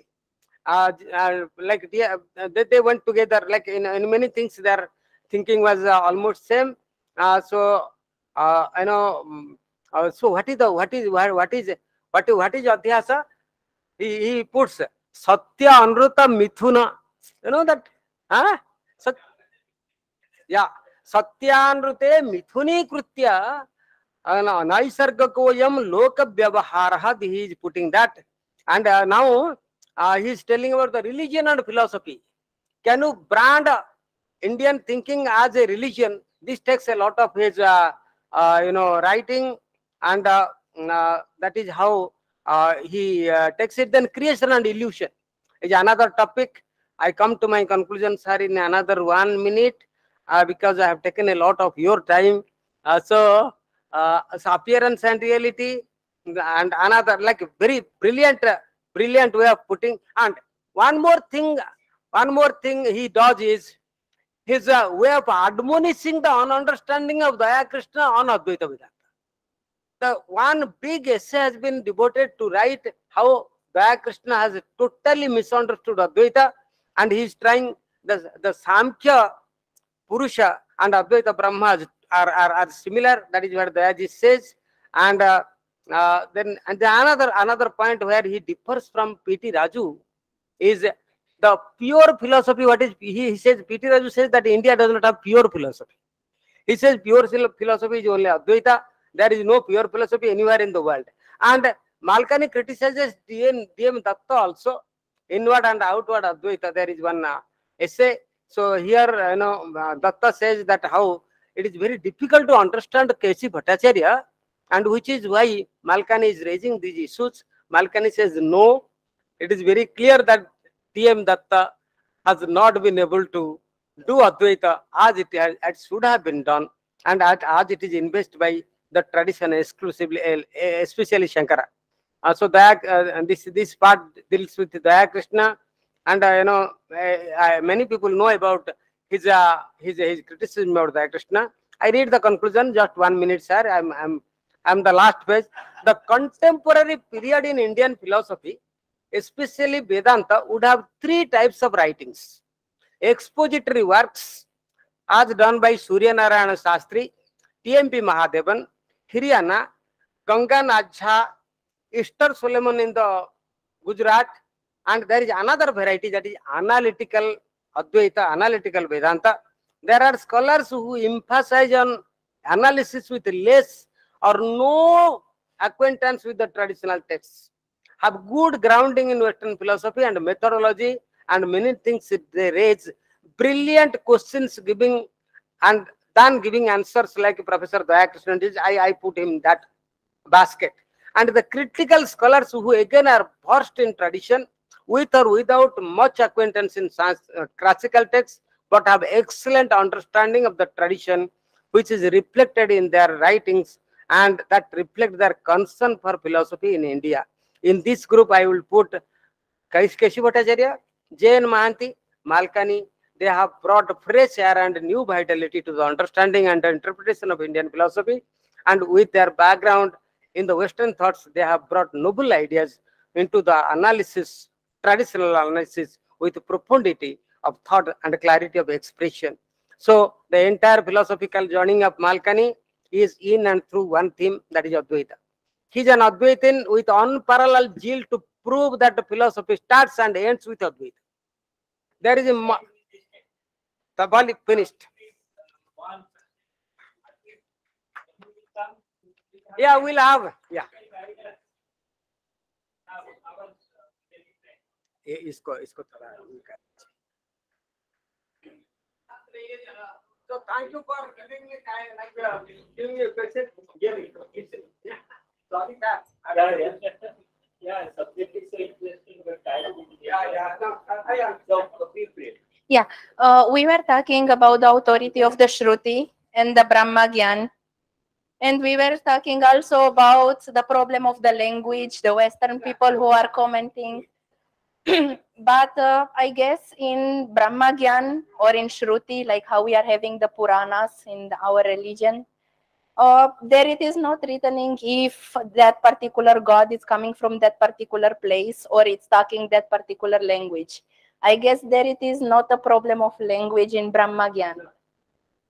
No? Because we are not saying.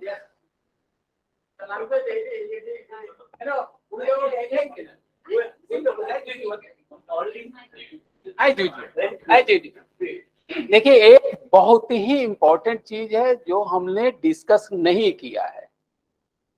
इतना किया है। हिंदी में इसलिए बोल रहे हैं, फिर English में ट्रांसलेशन बाद में कर देंगे। नहीं लेकिन मैं नहीं करूँगा, आपने किए। एक इम्पोर्टेंट चीज़ देखिए। इतना बड़ा ट्रेडिशन दस हज़ार का, और यहाँ फिलोसॉफिकल जो डिस्कशन होता है, इसका आउटपुट कहाँ है?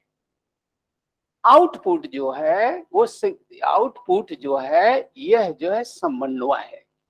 और समन्वय का मतलब ये होता है, देखिए मेरी थीसिस है और मैं इसको डेवलप कर रहा हूँ, कि जो समन्वय है, जो एक तो सूत्र में ही है, इस समन्वय में एक का खून दूसरे में बह रहा है। इंक्लूसिविज्म जिसको कहते हैं, आप सोचिए।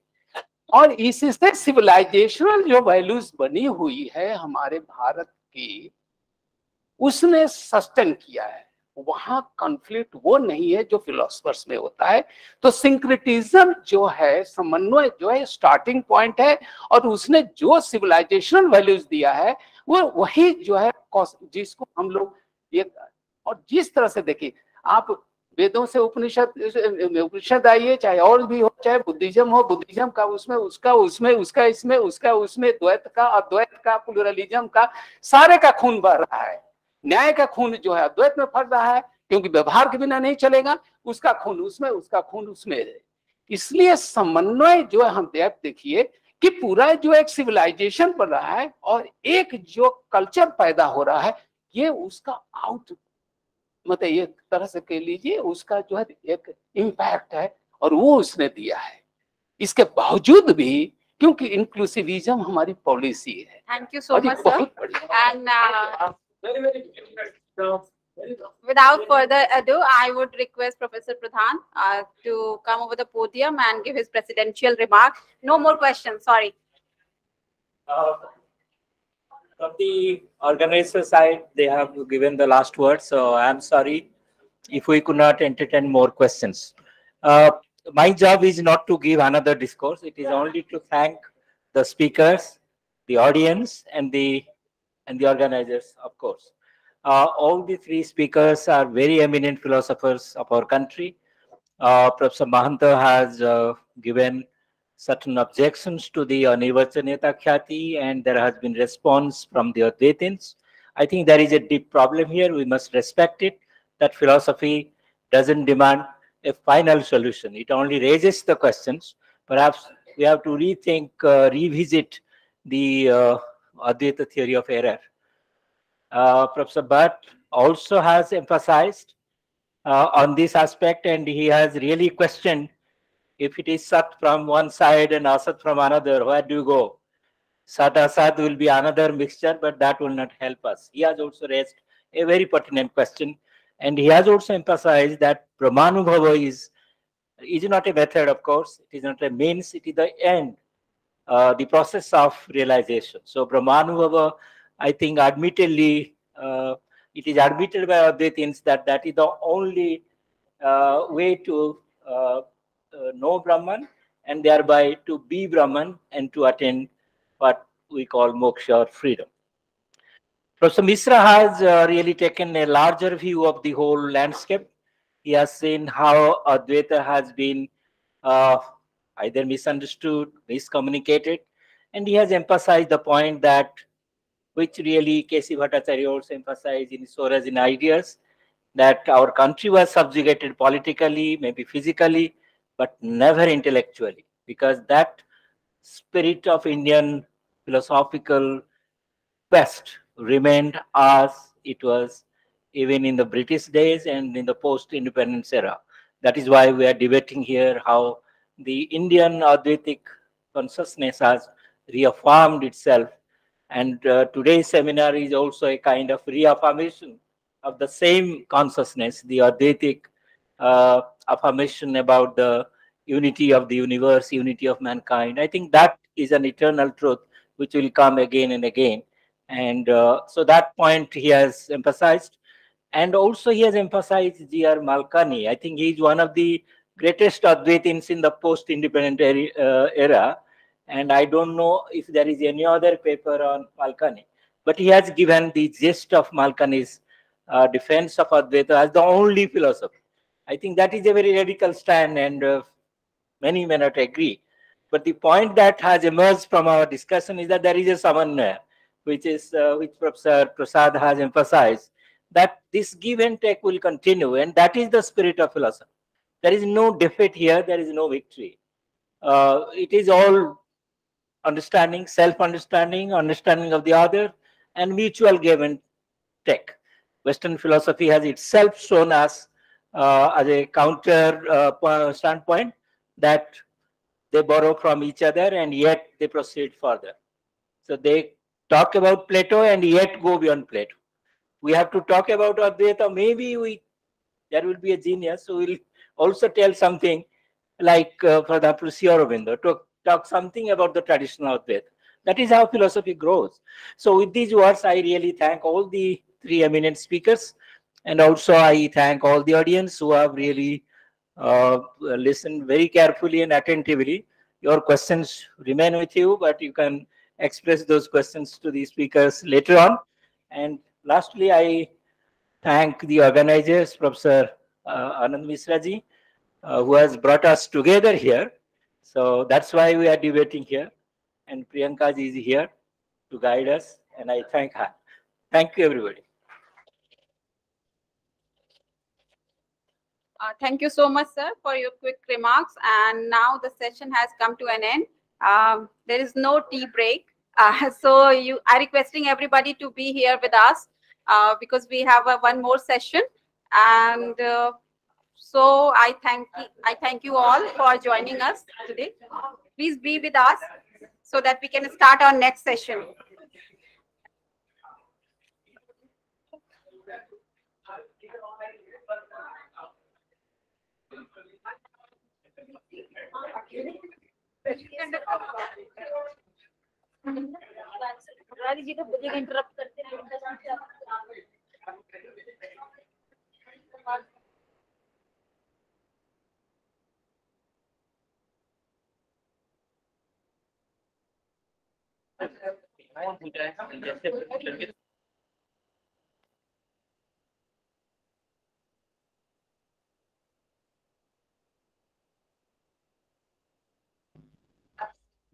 Hello. Uh, may I have your attention, please? Good, Good evening, everyone. Once again in the hall, we are going to start a new technical session that is uh, being held in the hybrid mode. And uh, our, all the participants will be joining us online. And I hope that, uh, that all have already joined us. As I can see, Paneerselvam, sir, uh, A.K. Rai, sir, and other Digvijay Mishra and K. Venkatachalam, and others are there. So uh, without wasting any moment, I request the chair of the session, Professor D.N. Tiwari. Sir, please come on the dais and take your seat.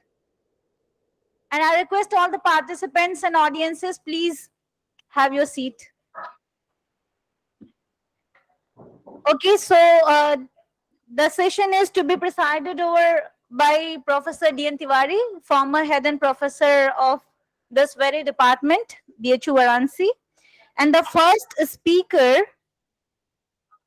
I'm going to invite, I can't see whether uh, Professor R.P. Singh sir has joined us or not. Yeah, okay, okay, as I can see him, yeah. I am also there. First speaker is there. Yes, sir. Thank you so much, sir. So, Professor R.P. Singh, Professor, Center for Philosophy, School of Social Sciences, Jawaharlal Nehru University, New Delhi. And he is the first speaker of this session. Sir, mic is handed over to you now. So should I start now?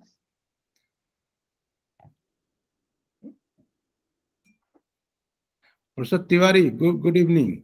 Want to say something? Yes, sir, you start, please. Okay, thank you very much and good evening to everybody. So it's indeed a great pleasure for me to participate in this wonderful seminar, Post-Independence Indian Philosophy, uh, organized by the Department of Philosophy and Religion, Banaras Hindu University, and good friend of mine, Professor Anand Mishra, and some of my former students like Dr. Rahul, Priyanka, and others.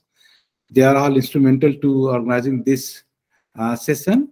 And I'm also happy to see my very dear friend, Professor Paneerselvam, in the session. And namaste.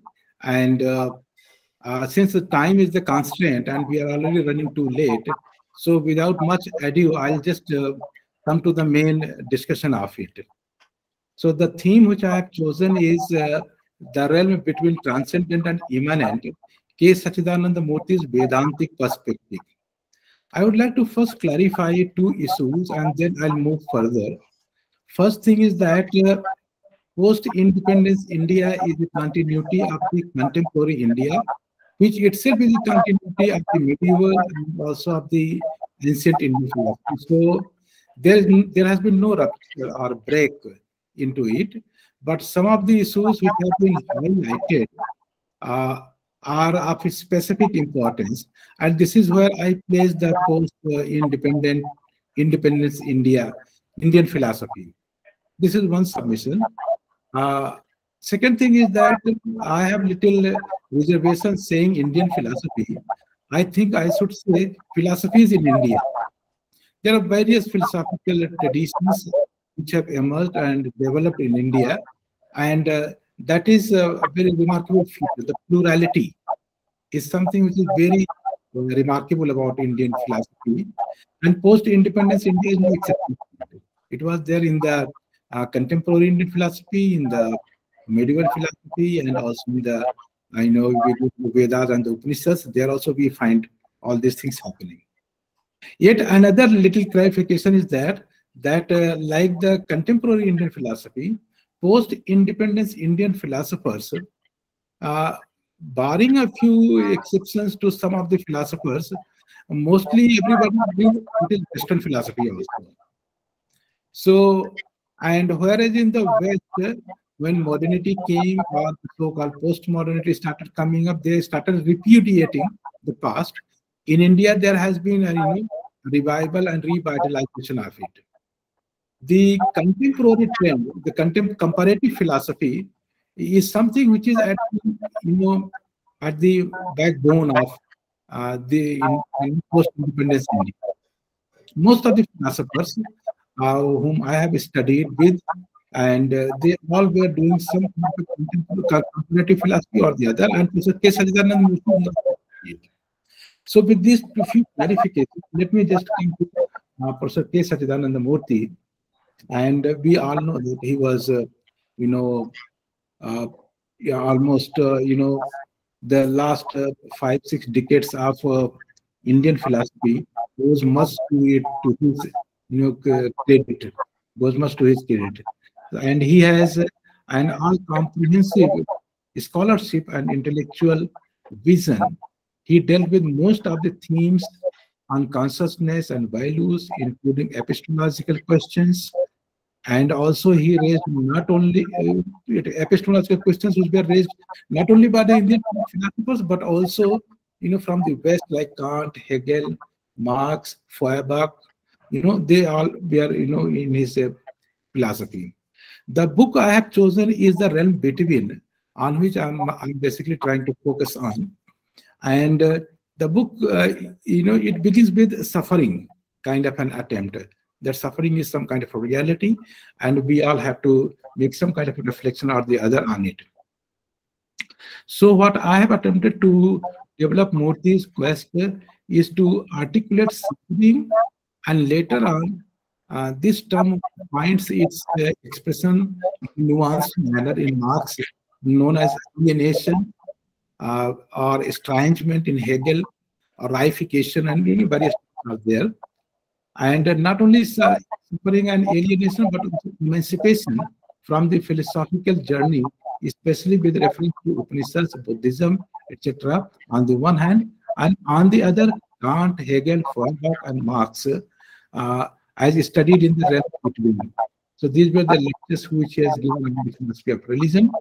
The term realm between has been borrowed from Heidegger's The Realm in Between. You know, there's a term he has used in Being and Time, the realm in between. Uh, but uh, the contextualizing, uh, the contextualities are quite different one. Uh, in fact, um, Murthy has contextualized it in a different manner. The book has been divided into various chapters, various issues are there. But what uh, Professor Murthy is suggesting is that he has taken up, you know, uh, I, uh, uh, you know, from a quotation from Brihadaranyaka Upanishad, and the details are, you know, there.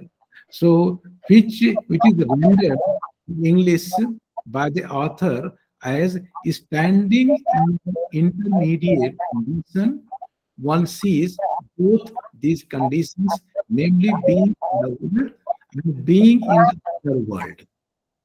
This is the kind of, you know, a new thing, new vision he has taken, though it is deeply rooted in constitution itself. But he was trying to re-articulate in a certain manner. Thus, the realm between uh, falls in the juncture, it is called Ubhay Asthane, Sandhi Asthane, and uh, the immanent and as well as the transcendent. In addition to this, uh, in, in a situation like this, one is able to see both the evils and the joys in the works of Murthy.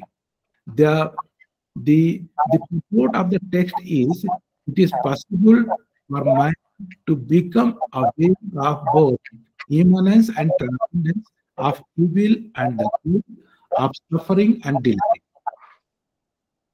It is uh, it is curious to, that Professor Murthy chose to reflect on one of the pairs only, that is suffering, uh, that is uh, suffering and uh, suffering. And uh, since the since that seems uh, to lie on the side of the middle, that is immense to get connected in an intermediate way and throughout the book, this intimate relation appears to him to form the backbone of the discourse. So the chapters, in fact, they begin with this kind of a statement. Buddha saying that there is suffering and that there is a cessation of suffering and there is a method of you know getting rid of this suffering. Now, here, you know, you know, standing in the middle of two things, uh, what Professor Murthy has done, he has taken up little bit help from Immanuel Kant. And uh, Murthy has taken into uh, comprehensive account of the three critiques of Immanuel Kant. Uh, the critique of pure reason, he writes that the defining appearance as everything that cannot be apprehended through space and time, that can be apprehended through space and time. Kant states that the concept of appearance establishes the objective reality of phenomena and justifies the division of objects into phenomena and noumena. So that means there is something beyond phenomena also, and that is noumenal entities. So the way we understand it in, in Vedantic tradition, Vyavaharik Sat and the Paramarthik Sat. And humanity is something which is, uh, you know, standing between them, between Vyavaharik and the Paramarthik Sat. At one place, Kant says that as things are conditioned, they do involve the idea of the unconditioned. This again is something which we find even in Vedanta also. that if everything is changing, then there is something in us which is not changing. And that basically taking up the antakarana, mana buddhi, manas buddhi, ahankar, pragya, uh, chitta, uh, and then coming to the sakchin, the witness aspect, is something which is not changing, which Kant also has it in terms of I think level consciousness, not I am level consciousness. The way Descartes has said that I think, therefore I am. And Kant said that no, I think level consciousness is possible, but not the I am. Because existence has been used in very many way, ways, you know, by Descartes. For him, mind exists because of thinking, body exists because of extension, God exists because of uh, perfection, absolute perfection. So with one category, he is trying to, you know, articulate the three different entities. And that's something which is uh, very remarkable and that this idea is flawless and uh, crown and completion of all human knowledge. The distinction between phenomena and noumena, between this world and the other world, Vyavharik and Paramarthik, this is how philosophy has tried to develop itself. Not the way dichotomizing it, because the difference between Vyavharik and Paramarthik is the difference of degrees only not of the kinds. In Kant, it becomes a kind of, you know, uh, different in, in terms of kind because he did not have the intellectual intuition, which, which is available for Shankara in Vedantic tradition. And, and, and Murthy has also acknowledged it. Now, there are other details regarding the critique of practical reason also and the critique of judgment. Uh, about the practical reason, the second critique, uh, Kant does not in any way contradict the conclusion of the first critique. Most people think that uh, there is a contradiction between the first critique and the second critique. But uh, when Kant wrote the first critique, he realized that this text is very incomplete. And he was already started preparing to write the second critique. And before he could have written the second critique, he wrote that answer to the question, what is enlightenment? That was the bridging gap between pure practical reason and the pure reason kind of a thing. So the first thing, we cannot have any knowledge of God. So the knowledge of God is denied here. The faith element has to come up.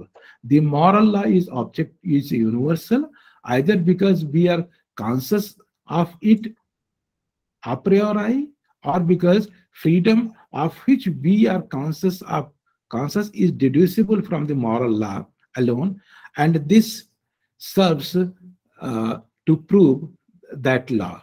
Kant expresses both these uh, views. The moral law uh, directly points to the noumenal world, but does not give any knowledge of it. So between knowledge and faith, there comes a kind of, you know, gulf, unbridgeable gulf. So freedom, God, and immortality have to be presupposed. They cannot be established, you know, through any kind of observation or any kind of, you know, things like that, knowledge element kind of a thing. And the same issue is developed even in the critique of uh, judgment, the third critique of which I am not able to go. But uh, there is, uh, you know, if there is suffering in, uh, in Buddhism, with which Murthy had started, he found that uh, uh, there is alienation in the Western philosophy also.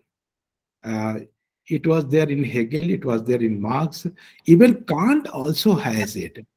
So this something this is something very remarkable with Murthy that uh, that he take, takes Kant also as the originator of the notion of alienation in modern times. And the reason he has given is that the idea of perfection, of which Immanuel Kant talks about in his moral philosophy, the, the goodwill, is something where we find that uh, alienation is there because you already have some kind of an idea which is absolutely perfect and now uh, it remains constant in and around which you have to evaluate everything else. So on alienation, one of the fundamental. Please One of- it's a very uh, uh, late uh, session and five professors uh, have to present their papers. So I will request you to, sir, conclude very soon. So how much um, how many how much time do you give me? Another two minutes, three minutes? Two minutes. All right, all right. So this idea of alienation, uh, which humanity has always been alienated, is the idea of the perfection. You know, from all historical epochs and everywhere else, he finds that humanity has always been alienated from this idea of perfection. Though Marx has taken up, you know, some other arguments, and uh, so many other things are there. So he also has gone into comprehensive account of Hegel's idea of alienation between master-slave dialectics, and I, I, cannot go into the details of it. But one issue is, something which struck to my mind when I was reading the book, uh, you know, uh, Darrell Whitfield, is that, uh, you know, after he had discussed Hegel, so uh, what he does, uh, Professor Murthy, he discusses, uh, you know, Marx, and he takes up Feuerbach later on, because that way he is violating the chronology of it. So most of the readers, they, you know, they have to look at it, uh, that the chronology should not be violated. The notion of absolute has been, and with this I'll just finish, that the notion of absolute has been, you know, constantly preoccupied in Professor Murthy's uh, arguments and articulations. And uh, this can be understood either in the cosmological sense of the term or the psychological or theological way. And all the three streams are available in the comprehensive account of uh, philosophy. So I think I should stop. There are um, very many philosophers who are there. I'll be there to listen to them. And if there's any question, answer in the chat bot and all, if I get opportunity, I'll address. Thank you, Professor, uh, Professor Tiwari, for giving Thank me you, this sir. opportunity. Thank you so much. Uh, we can have just one question. One real question. it could be ideal also. Some remarks, I, I am making some remarks on that. Ah, Sir, if there is no question, we can invite the another speaker. And at last, you have to give sir concluding remarks. Okay, so uh, since we have five uh, speakers left uh, to be listened, so uh, I humbly request to all the next speakers to just finish your talk within 10 minutes and then five minutes will be given to you for question answer session. So please make it as quick as you can. So next, I would like to invite Professor G.P. Das, Professor of Philosophy at Utkal University, Bhubaneswar, Odisha, and he'll be speaking on Aham Brahmasmi, its logical foundation and value implication. Over to you, sir. Professor G.P. Das. Welcome, Professor Das.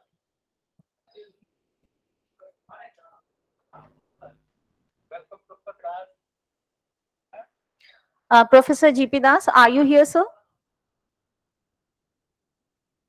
So you you have already uh, uh, listened a very beautiful presentation by Professor R.C. R.P. Pant- uh, Singh ji. And Professor R.P. Singh is a widely known and very good scholar, having a very depth knowledge. He has presented uh, uh, Murthy's philosophy, and uh, though he has not got much time because of starting starting the session too. Starting, uh, starting the session. Can we invite the late. next speaker if Professor G.P. Das sir is not so, here? Uh, we will not discuss it. Rather, I will suggest that if he will send his paper it will be published in the journal, and then we will become aware of his writing on K.S. Murthy. Uh, now, the second Professor uh, G.P. Das. You are welcome, sir. Sir, I think Professor G.P. Das uh, is not here with us. So uh, without wasting any time, uh, we should invite the next speaker. So I would take an opportunity to invite Professor A.K. Rai, former professor and head Department of Philosophy and Religion, BHU Varanasi. And uh, the topic of the very presentation of Professor Rai is perfection, happiness, and spirituality, an observation on Advaitic orientation of Acharya Ra- Ramakant Tripathi. You are most welcome, sir. Over to you now. Okay. My friend, Professor Anand Mishra, the head of Department of Philosophy and Religion, BHU, and my friend, President of the session, Professor D.N. Tiwari, scholars, students, online and offline. Friends, I have to present my paper and my supervisor, Professor R.K. Tripathi. And time is allowed only 10 minutes. So what can I do? I can only give the life sketch of uh, R.K. Tripathi, something about him and something about others. And then the paper is already there. It has three parts. One part is about perfection. The ideal is perfection for Tripathi ji. The second part is the philosophical part. The third part is how can philosophy of Advait will be beneficial to others who do not follow the philosophy of Advait. So the paper has the three parts. Now, I have only the academic uh, relation with Professor R.K. Tripathi. And but infrequently he talks about himself and did not much talk about himself. But one of the suggestion is his suggestion is saying one of his suggestion was that when you are criticizing others or when you are writing the comments, you should write prefix with it may be, it appears to me, not it is wrong. So that was his suggestion whenever I am going uh, to present my paper to him. The second is, you see, he was influenced by, though he submitted his thesis under the guidance of Professor S. Radhakrishnan, the President of India, but the real thinking bank for him was Professor T.R.V. Murthy. And he was influenced by two persons. One is, I have mentioned, Satish Chandra Mukherjee, who was living in Varanasi, who was the founder of the Dawn Society, and a book was written uh, by Subroto गुहा। राष्ट्रीयता और Swadeshi Andolan 1998 it published by Subrato Guha. He was very much liked by Satish Chandra SC Mukherjee who was the founder of dance of and he was indirectly responsible for the establishment of the Jadavpur University so he was hiddenly living in Varanasi and he was influencing the teachers of the Varanasi So Tripathi ji was very close to him, and the book was written on him, uh, S.C. Mukherjee. And he has great connection. He was the class fellow of Swami Vivekananda, Asutosh Mukherjee, etc. And uh, both were Malani, Professor Malani, Professor R.K. Tripathi, another professor, uh, a professor of mathematics, both, all these people were influenced by Yassi Mukherjee. So for the spirituality, R.K. Tripathi was influenced by Yassi Mukherjee, great Yassi Mukherjee. And for the thinking bank, he was devoted to whole and whole T.R.B. Murthy. So the philosophy of T.R.B. Murthy is incomplete without the writings of R.K. Tripathi. In nutshell, I will say, unless you read the R.K. Tripathi, because you cannot understand the just, uh, you cannot understand the T.R.V. Murthy. So both are complementary to each other. R.K. Tripathi is complementary to the study of the philosophy of T.R.V. Murthy. So very hastily I am reading. So first point he has taken that the aim of his life is the perfection of myself and the happiness of others. What is the perfection? Perfection is yogina karma kurvanti sangam tyaktvatma suddhaye. Do your duty without attachment to anything. So this is the right way to be perfect. We have to perform the duty. There are two paths, the path of enunciation and the path of action. And those who are following the path of action, they should do the act, but for the purification of the self.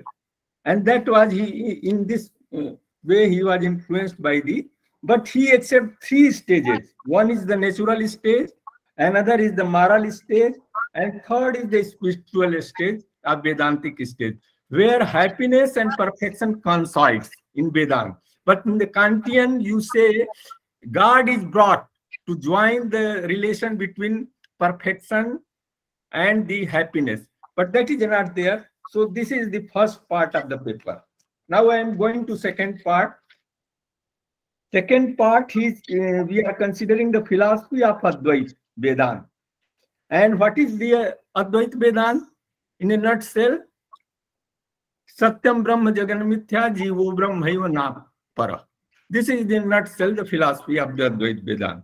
And in order to reach the goal of the Advait Vedanta, we have to negate five types of illusion.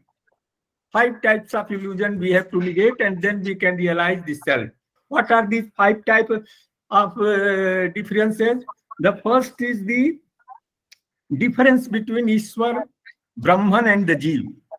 So this is illusory. And in order to understand the clear-cut relation between Brahman and Jeev, we can take the example of the mirrors, gallery of mirrors, when a thing is projected differently in a plurality.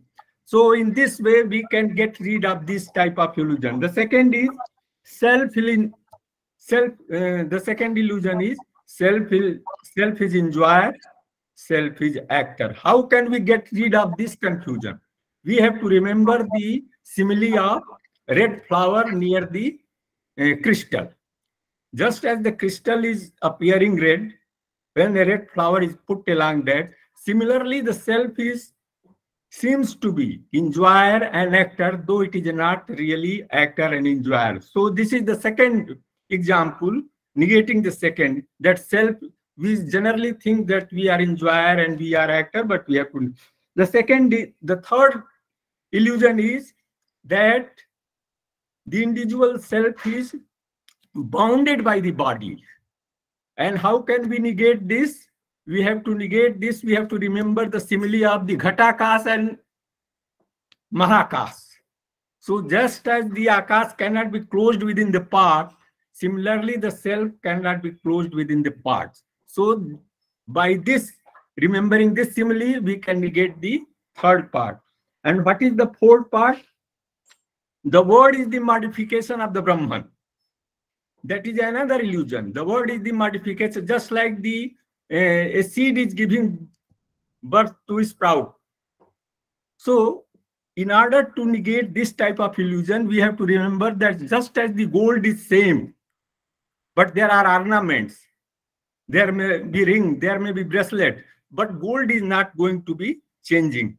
So by remembering this simile, we can negate this type. And lastly, we we have to the Brahm is the changing. Brahm is negated. Brahm and the world are both real. In order to negate this type of illusion, we have to remember the simile of rope and snake. By remembering the simile of rope and, rope and snake, we can get rid of this type. So in order to realize the Advaitic reality, we have to get rid of the five types of illusions. Then we can realize the Advaitism. Now, in this chapter, I have taken examples from the uh, sciences also. I have quoted from the sciences also. I have taken Schrodinger and I have taken uh, demonstrated that how Schrodinger demonstrate that the Advaita Vedanta is solving the most of the problems, epistemological problems that arises. But I will not go into Schrodinger. I will quote only one thing from the Einstein you see, one person wrote an book, There is a No God, and sent to Einstein. Then Einstein told him that it should be titled as There is No Personal God, not There is No God.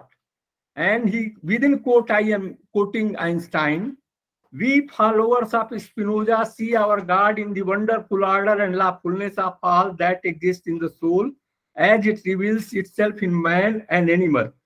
It is a different whether belief in personal God should be contested. Freud endorsed this view in his latest publication. I myself would never engage in such a task, for such a belief seems to me to lack any transcendental outlook of life. And I wonder one can ever successfully render to majority of mankind a more sublime means in order to satisfy its metaphysical need. So both Schrodinger and Einstein are not negating the God, are transcendental God, God pervading the world. They are negating the personal God. So the philosophy of Advaita Vedanta has backup from the sciences also. In order to demonstrate this part, just as Tripathi is writing, Tripathi is criticizing others' view, and that is why. Now I am going to the third part, very especially. Here he has also the what is the problem? What is spirituality? So he says that spirituality is the method of attaining permanent peace here on earth. Spirituality is generally defined in terms of spiritual experience, but Tripathi does not want to define spirituality in that sense. How can we realize the cause of peace is not the external circumstances, not bias or sin, but the pride of ego. It is the ego that isolates and separates us, and we have to give up the ego. We see, so Acharya Tripathi concludes that our ego is root cause of suffering. It cannot be denied. Desire to eradicate suffering is universal, yet the knowledge of root cause is not universal only.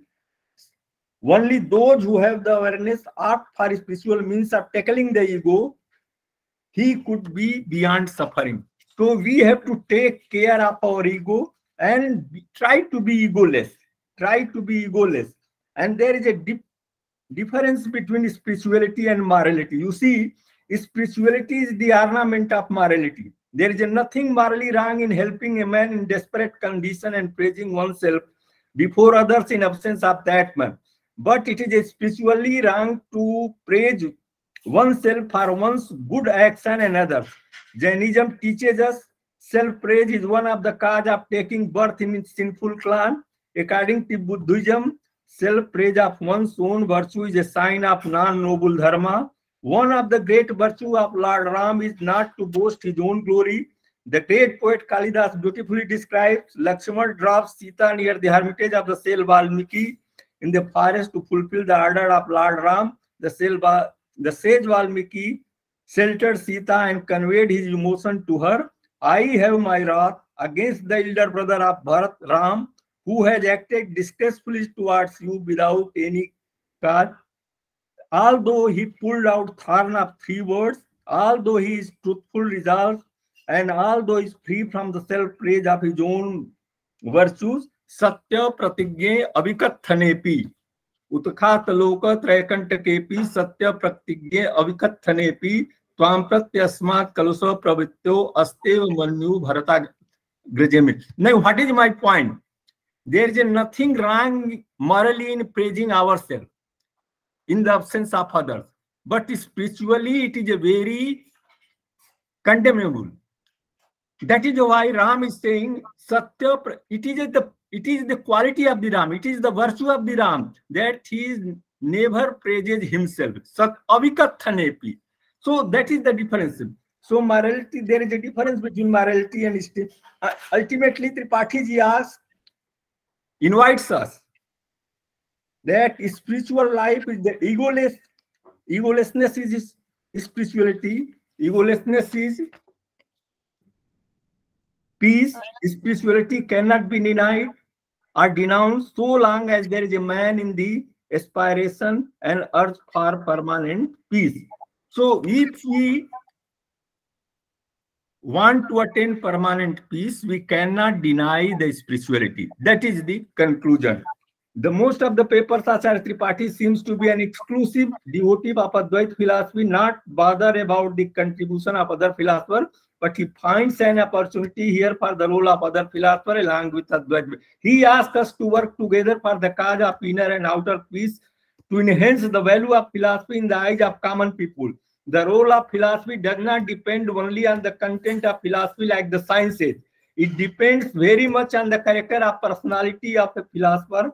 Let us work asked Acharya Tripathi not only to enrich the content of philosophy, but also for our own inner, inner and outer peace so that we become more meaningful for sustaining and transmitting the spiritual currents of different traditions to our future generation. Thank you all. Paper is over.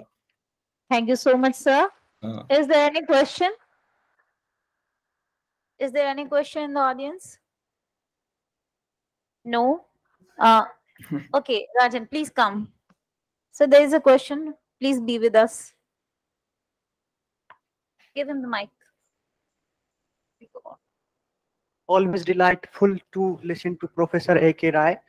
Uh, sir, it is just a, a quest that when you mentioned that incident, incident that there was a letter sent to uh, Einstein regarding that there is no existence of God, and Einstein denied the very fact that there is no personal God, but there is a, some different kind of God. So I just want to, and you try to balance that the scientific God and the Advaitin Brahman both are similar. So I just want the question कि जब हम कहते हैं कि ब्रह्म एक थे और उन्होंने अनेक होने की इच्छा की so what sort of desire is that? Can we compare the desire or can we bring that sort of desire in the scientific realm or that in the scientific god? Or can we say that scientific scientific god does not have any desire and that Brahman, that absolute has that sort of desire? So I just want to. Oh. Okay. Okay, follow your question. Now you see, when we are Eko Ham Bahusyam, so Akamya, all these are the expression of God. But here we are talking about the absolute, not about the God. And we see Spinoza has given a new logic for the Advaita Vedanta. So Tripathi ji wrote his thesis, Spinoza in the light of Vedanta. Spinoza in the light of Vedanta. And you see,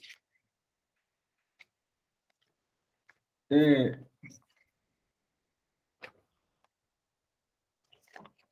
and German Sanskrit, Theodor Goldstacker, Spinoza religious conception and Vedanta tradition, exact representation of the ideas of Vedanta. So, in 19th century, the great Sanskrit of German they are of the opinion that there is a parallel similarity. Madame Blavatsky, Max Muller, all these are saying that there is a great similarity between the Spinoza. And you see, Suvakamyat means we are asking for the teleology. And Spinoza gives logy that the world is not the product of the teleology. So teleological arguments must go from the philosophy of the Advaita. You must remember when we are doing Advaita, we are going in a window. Then we have the teleology then we are it is determined by the very nature of the brahman and very nature of the reality itself just like the spinoza so spinoza has given a different logic and for the sustaining of the spirituality of the buddhism as well as hinduism that we can do philosophy without the teleology so so kamya so all these are the phenomenal statements and we have two superimposition on the absolute and if you read the uh, Schrodinger. Schrodinger I have given. If you read the Schrodinger, he gives the example of Gauri Shankar. You just go on. And he praises the uh, equation, Atman versus. So he himself, he is the better commentator. You will not find any dis dis distinction between Malani, R.K. Tripathi and Schrodinger. If you read his writings, Tattvamasi. He has written article on the Tattvamasi. So if you read this, you see how the great science, he was awarded Nobel Prize. And he was the one of the pioneer in quantum mechanics. And he is writing an Advait Vedanta of Tattvamasi. You must remember this. So how they appraise this, and we should uh, only thanks them. Because if other tradition appreciate our tradition, then our tradition becomes more valuable, more universal, and more acknowledgeable. That is your heart. Thank you so much, sir. Uh, it So was a very. Huh. It So it is only when we are going from the coming from the Arbindo, we remember the teleology. And we are seeking teleology in Advaita Vedanta and Buddhism. And that is the create that creates the problem. Thank you, sir. Okay, Thank you so much. Yeah. We have with us uh, Professor S. Paneerselvam, former professor, Department of Philosophy, University of Madras, Chennai, Tamil Nadu. So without further ado, I'm handing over the mic to you, sir. Please deliver your lecture. Professor Paneerselvam.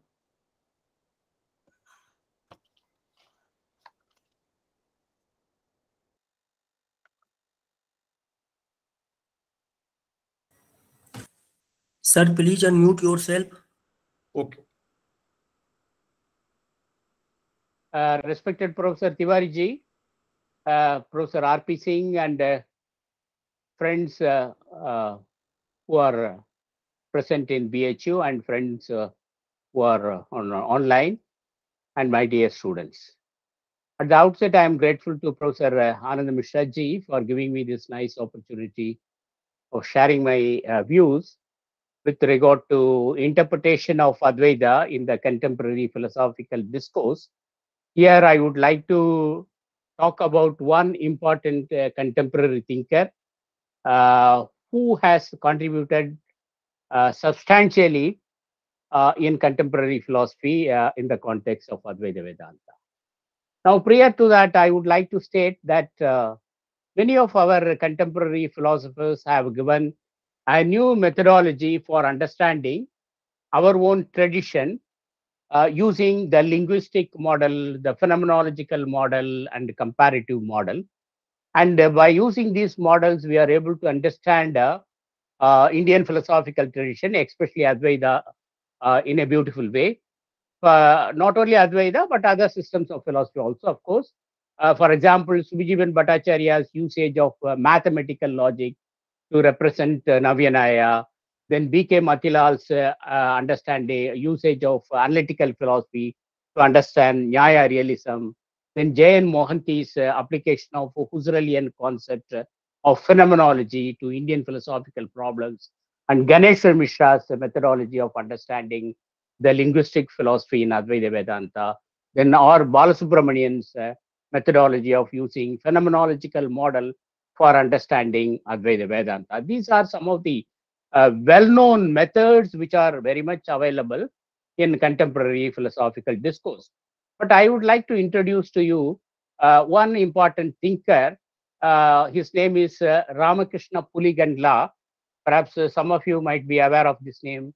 And if my professor, my good friend uh, uh, Godabrish Mishra is there, he would uh, uh, also accept that Puligandla is a very important philosopher of this century who has seen Advaita from the analytical tradition. And he has made analytical as well as the phenomenological model in order to understand Advaita uh, tradition from a new perspective.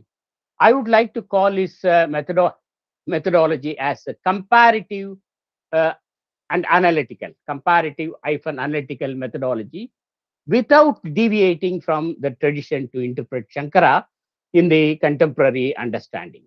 And this method, uh, that is the comparative analytic method, has certain advantages.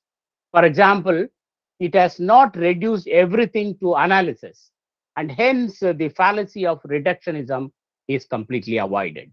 And secondly, this method of uh, Ramakrishna Puligandla allows us to think and apply the Western methodology to Indian philosophical problems to ponder over the question why very similar puzzles evoke different responses from different people, as uh, suggested by Professor B.K. Matilal.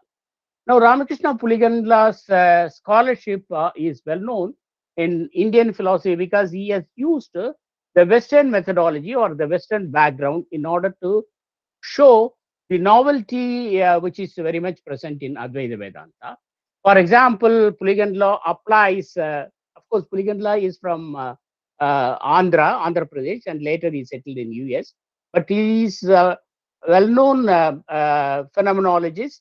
He is well aware of uh, the Advaita Vedanta and also is very much familiar with modern logic and philosophy of science. So what he did was he applied the Big Bang theory and Derrida's deconstruction and the Western philosophy of language to understand uh, Advaita Vedanta. And I would like to mention two of his very important uh, papers published in Madras University. That one is Consciousness and the World in Advaita Vedanta. Uh, here he looks at the doctrine of uh, Adhyasa from the analytical standpoint. And also another important uh, paper of uh, Professor Puligandla is an analytical interpretation of Advaita Vedanta. And there is also another important paper, Immanence and Transcendence in the Upanishadic Teaching. in all these papers, he could uh, successfully give the analytical uh, as well as the phenomenological understanding of Advaita Vedanta. That uh, actually makes him uh, something unique in the field of or in the in the uh, in the in the Advaitic tradition. Now, a phenomenon, he defines uh, what is a phenomenon. He says a phenomenon is anything that is or can, in principle, be an object of consciousness. That is, he's trying to develop a phenomenological method. So he tries to define what a phenomenon is. That is how a phenomenon is always connected to object of consciousness. So he says every phenomenon can be assigned either both spatial and temporal and it coordinates with uh, the temporal world. So this means what, uh, according to Puligandla, is what exists in time and uh, which is bounded by time is something related to consciousness. And Brahman cannot be a phenomenon because uh, it transcends everything. Of course, there are many uh, uh, phenomenologists, Indian phenomenologists like uh, J.N. Mohanty and R. Balasubramanian, who have made some attempt in this direction. But what makes Puligandla unique is that he shows uh, the major distinction that exists between Brahman on the one side and the object of consciousness or the empirical world, where he argued that Brahman cannot be a phenomenon because it transcends everything. So he says Brahman as a pure uh, and objectless consciousness, whereas Jiva is an object of consciousness and not consciousness itself. Here lies the major uh, distinction because uh, when he defines uh, or when he interprets Brahman by saying that it is objectless consciousness, he shows how it transcends the ordinary understanding of consciousness, which often, quite often, uh, is applied to uh, empirical things. So, according to, to Puligandla, Atman is uh, pure and consciousness itself. It is objectless uh, and consciousness. So, Brahman, according to him, is immanent in this sense, and uh, all existence and multiplicity are the manifestations of Brahman. Similarly, he says Brahman is transcendent in the sense that uh, Brahman, either as a power whose manifestation or the world of phenomena, or as pure objectless consciousness, cannot in principle be experienced as a phenomenon or, or object of consciousness. So it's very clear from his approach that in the experience of Brahman as transcendent, there is always objectless consciousness, and the knower known distinction is transcended or it is absent. Now, what uh, is trying to argue is that all phenomenon, except uh, uh, without exception, are reducible to Brahman, which is not itself a phenomenon. This is a major distinction he shows uh, between uh, uh, Brahman and other entities. So, according to the according to Puligandla, Brahman is unmanifest, pure, object-like consciousness is experienceable when one eliminates all mental modification.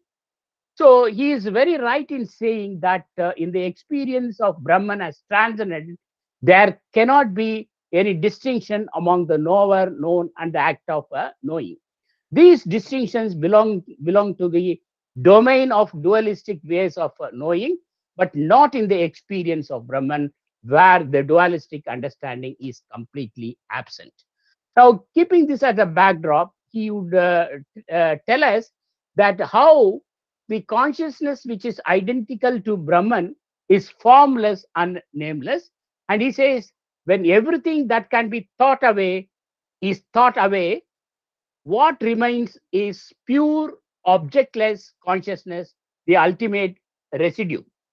Now, by developing this uh, phenomenological method or by seeing the phenomenological method in Advaita, is trying to argue that this method is quite different from that of uh, Husserl and Sartre, because uh, he says uh, for Husserl and Sartre, consciousness is always uh, intentional and there is what is called the object consciousness of something. Now, the question that uh, can be raised here is this whether consciousness can be non-intentional. This is a very important question according to Puligandla, whether consciousness can be non-intentional. Since consciousness cannot be empty, it must always be relational and hence intentional. So bare consciousness, uh, which is devoid of objects, is unimaginable. So this means Puligandla's methodology, though is remarkable, uh, like that of uh, the method developed by uh, Professor uh, R. Balasubramanian and others, I would always uh, see that there is uh, a, a problem that is always pricking in the methodology which he has uh, used in order to interpret, I mean, he- the methodology which he has used uh, in order to interpret Advaita Vedanta by focusing on the phenomenology. Why? Because my, my contention is the question is this whether consciousness can be non intentional. Since uh, consciousness cannot be empty, it must be always relational and hence intentional. So, bare consciousness, Sorry right? you, devoid sir. of objects. Yeah. So sorry to Hello? interrupt. Please, please conclude, sir. Yeah, yeah, yeah. Bare consciousness, which is devoid of objects, is uh, unimaginable. So this uh, two relation, that is, uh, in quote, two relation, that is how objects are always in relation to, uh, how consciousness is always in relation to something, some objects or other, is uh, a little problematic if we apply the Advaitic methodology. On the other hand, if we use uh, the methodology which is de- developed by Ramanuja, it is very clear that Ramanuja's uh, position is quite acceptable for the main reason that Ramanuja is the one who speaks about uh, that consciousness is always uh, uh, relational. Of course, there are Indian scholars like Professor R. Balasubramanian who argue that the Advaitins have transcended the methodology of uh, the phenomenology developed by Husserl and others. But how far that is true is uh, uh, is uh, quite doubtful. And uh, the, one, with one more point, I stop. The methodology which Puligandla has adopted is something no doubt is remarkable. For example, he tries to deconstruct Advaita Vedanta because all of us know that deconstruction has been uh, playing very important role in the Western uh, uh, methodology, especially Derrida's uh, uh, application of a deconstructive method to philosophical discourse is something remarkable. And uh, he talks about, Ramakrishna Puligandla talks about super de-superimposition. This is the phrase which he uses. And he says the methodology with uh, which uh, the Advaitins use is quite different from that of uh, uh um, uh, from that of Derrida's deconstruction. And here he says that uh, this methodology de- developed by Indian philosophers is something which transcends the methodology of Derrida. So he shows by quoting Harold Coward, who has written a very beautiful book on Derrida's deconstruction in Indian philosophy. Um, Puligandla argues that uh, our methodology, that is Indian methodology, would easily transcend uh, or it, it avoids some of the difficulties which arise in the context of uh, the Western deconstructive method developed by uh, uh, Derrida and others. So I'll conclude by saying the methodology which uh, we find in contemporary Indian philosophers' approach, like Puligandla and others, is something really remarkable for the main reason that they could successfully use the Western methodology in order to show that Advaitic tradition is not alien to some of the methods which uh, we have developed.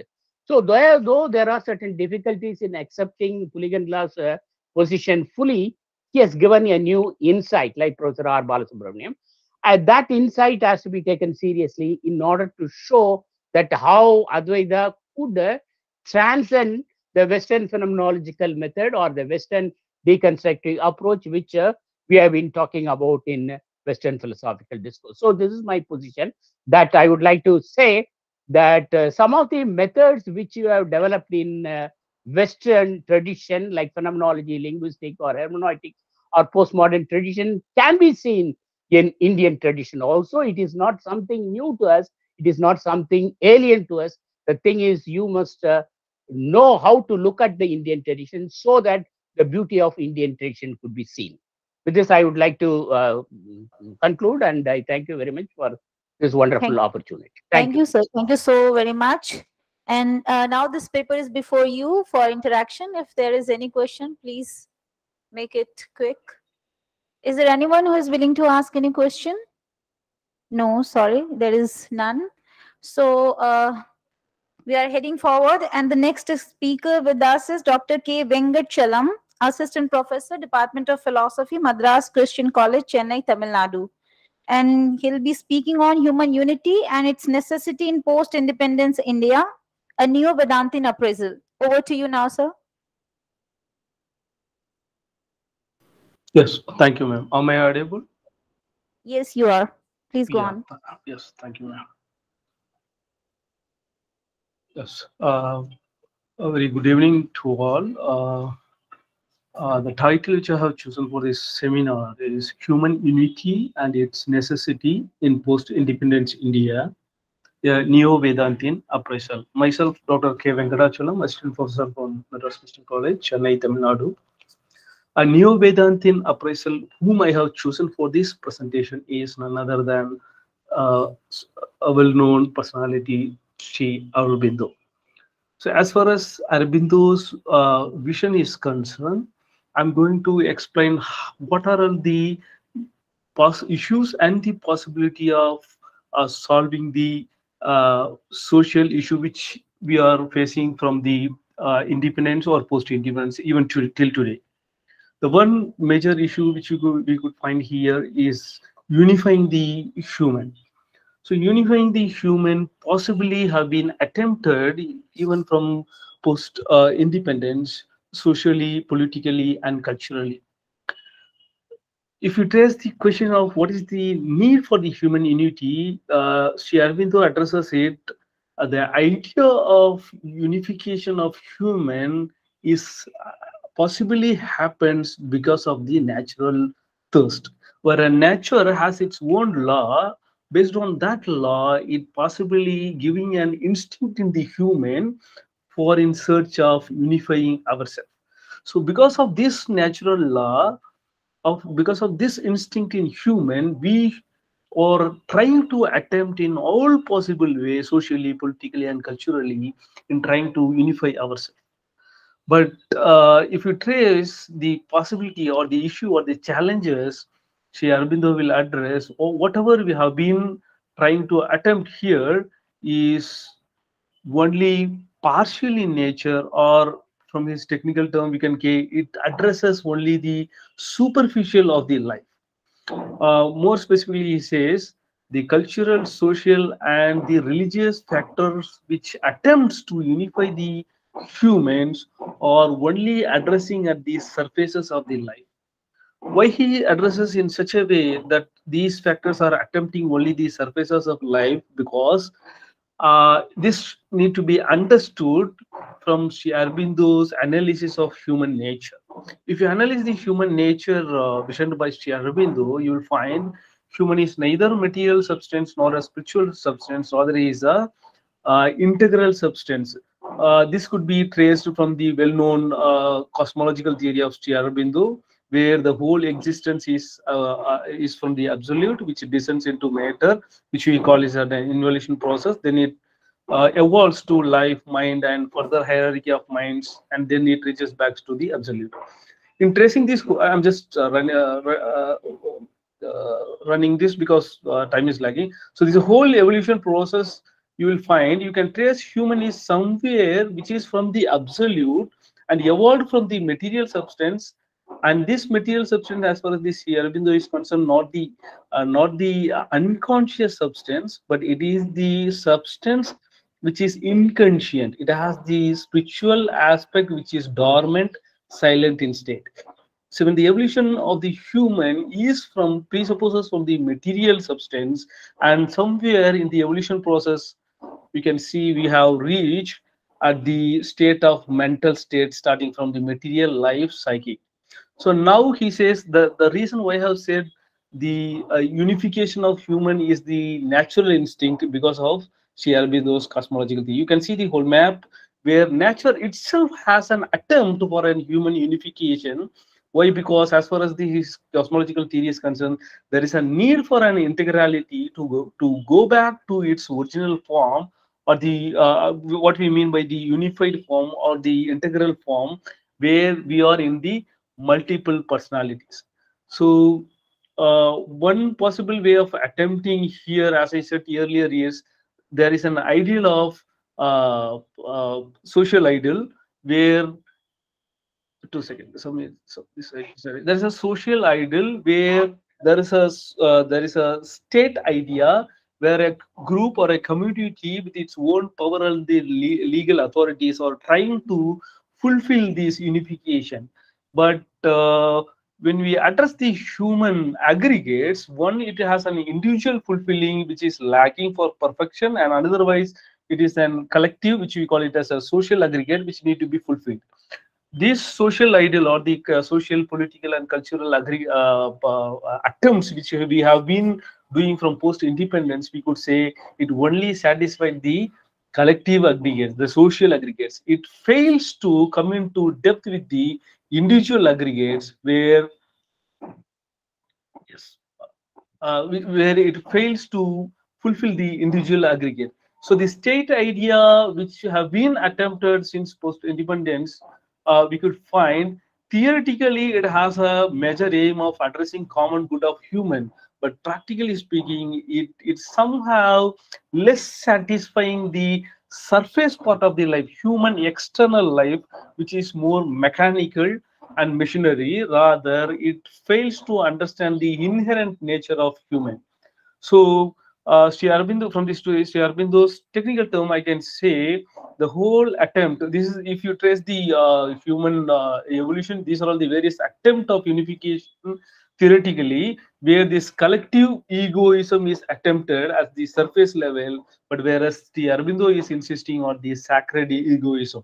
Only when there is a possibility of uh, these are all the uh, uh, these are all the uh, uh, various analysis between human and the social individual and the collective analysis where human is trying to search for something based on the perfection and the harmony whereas the nation is trying to fulfill something else the need according to Sri Aurobindo emphasizing here based on the human unity is it is not just a mechanized moral humanity rather it, there is a need for a spiritualist human unity. So as far as the whole theory is concerned, I'm trying to make a critical uh, estimate here. Uh, the possibility of human unity is the destiny, and the destiny will happen as far as the natural law is concerned. But as far as the uh, uh, possibility of uh, political power, what we call it as a state idea, the ideal of state in possibility in attempting the unity is always fulfilling only the external limbs but not that the internal limbs the internal here what we call it as analyzing the individual with the real spirit which it always tries to the fulfillment of collectivism which will necessarily happen so this is how i conclude my paper Uh, if there is any further question uh, uh, let me clarify it thank you sir thank you Thank you so much, Dr. Vengadachalam. And is there any question from the audience, online as well as offline? Uh, no. Okay, sorry, uh, we have no question for you, sir. So we are moving forward. And the last, but certainly not the least, uh, the, the speaker is Dr. Digvijay Mishra, Assistant Professor on guest basis in the Department of Philosophy and Culture, Mahatma Gandhi Antarashtriya Hindi Vishwavidyalaya, Wardha, Maharashtra. And the very topic of his presentation is Bharatiya Gyan Pranali Advait Vedant ke Vishesh Sandarbh mein. So over to you now, Dr. Digvijay Mishra. Uh, thank you ma'am इस सत्र की अध्यक्षता कर रहे आदरणीय Tiwari sir को प्रणाम। विभाग के विभागाध्यक्ष सर को प्रणाम। आभासी पटल पर प्रोफेसर ए राय सर को प्रणाम। और सेमिनार हॉल में सेमिनार हॉल में। सेमिनार हॉल में उपस्थित सभी गुरुजनों को और आभासी पटल में उपस्थित सभी गुरुजनों को प्रणाम। मैं दिग्विजय मिश्र अतिथि अध्यापक दर्शन एवं संस्कृति विभाग महात्मा गांधी अंतर्राष्ट्रीय हिंदी विश्वविद्यालय वर्धा। विद्याम च अविद्याम च यस्तद्वेदो उभयम सह अविद्या मृत्युम तीर्थवा विद्या अमृतम अश्नुते मेरे आलेख का विषय है भारतीय ज्ञान प्रणाली अद्वैत वेदांत के विशेष संदर्भ में।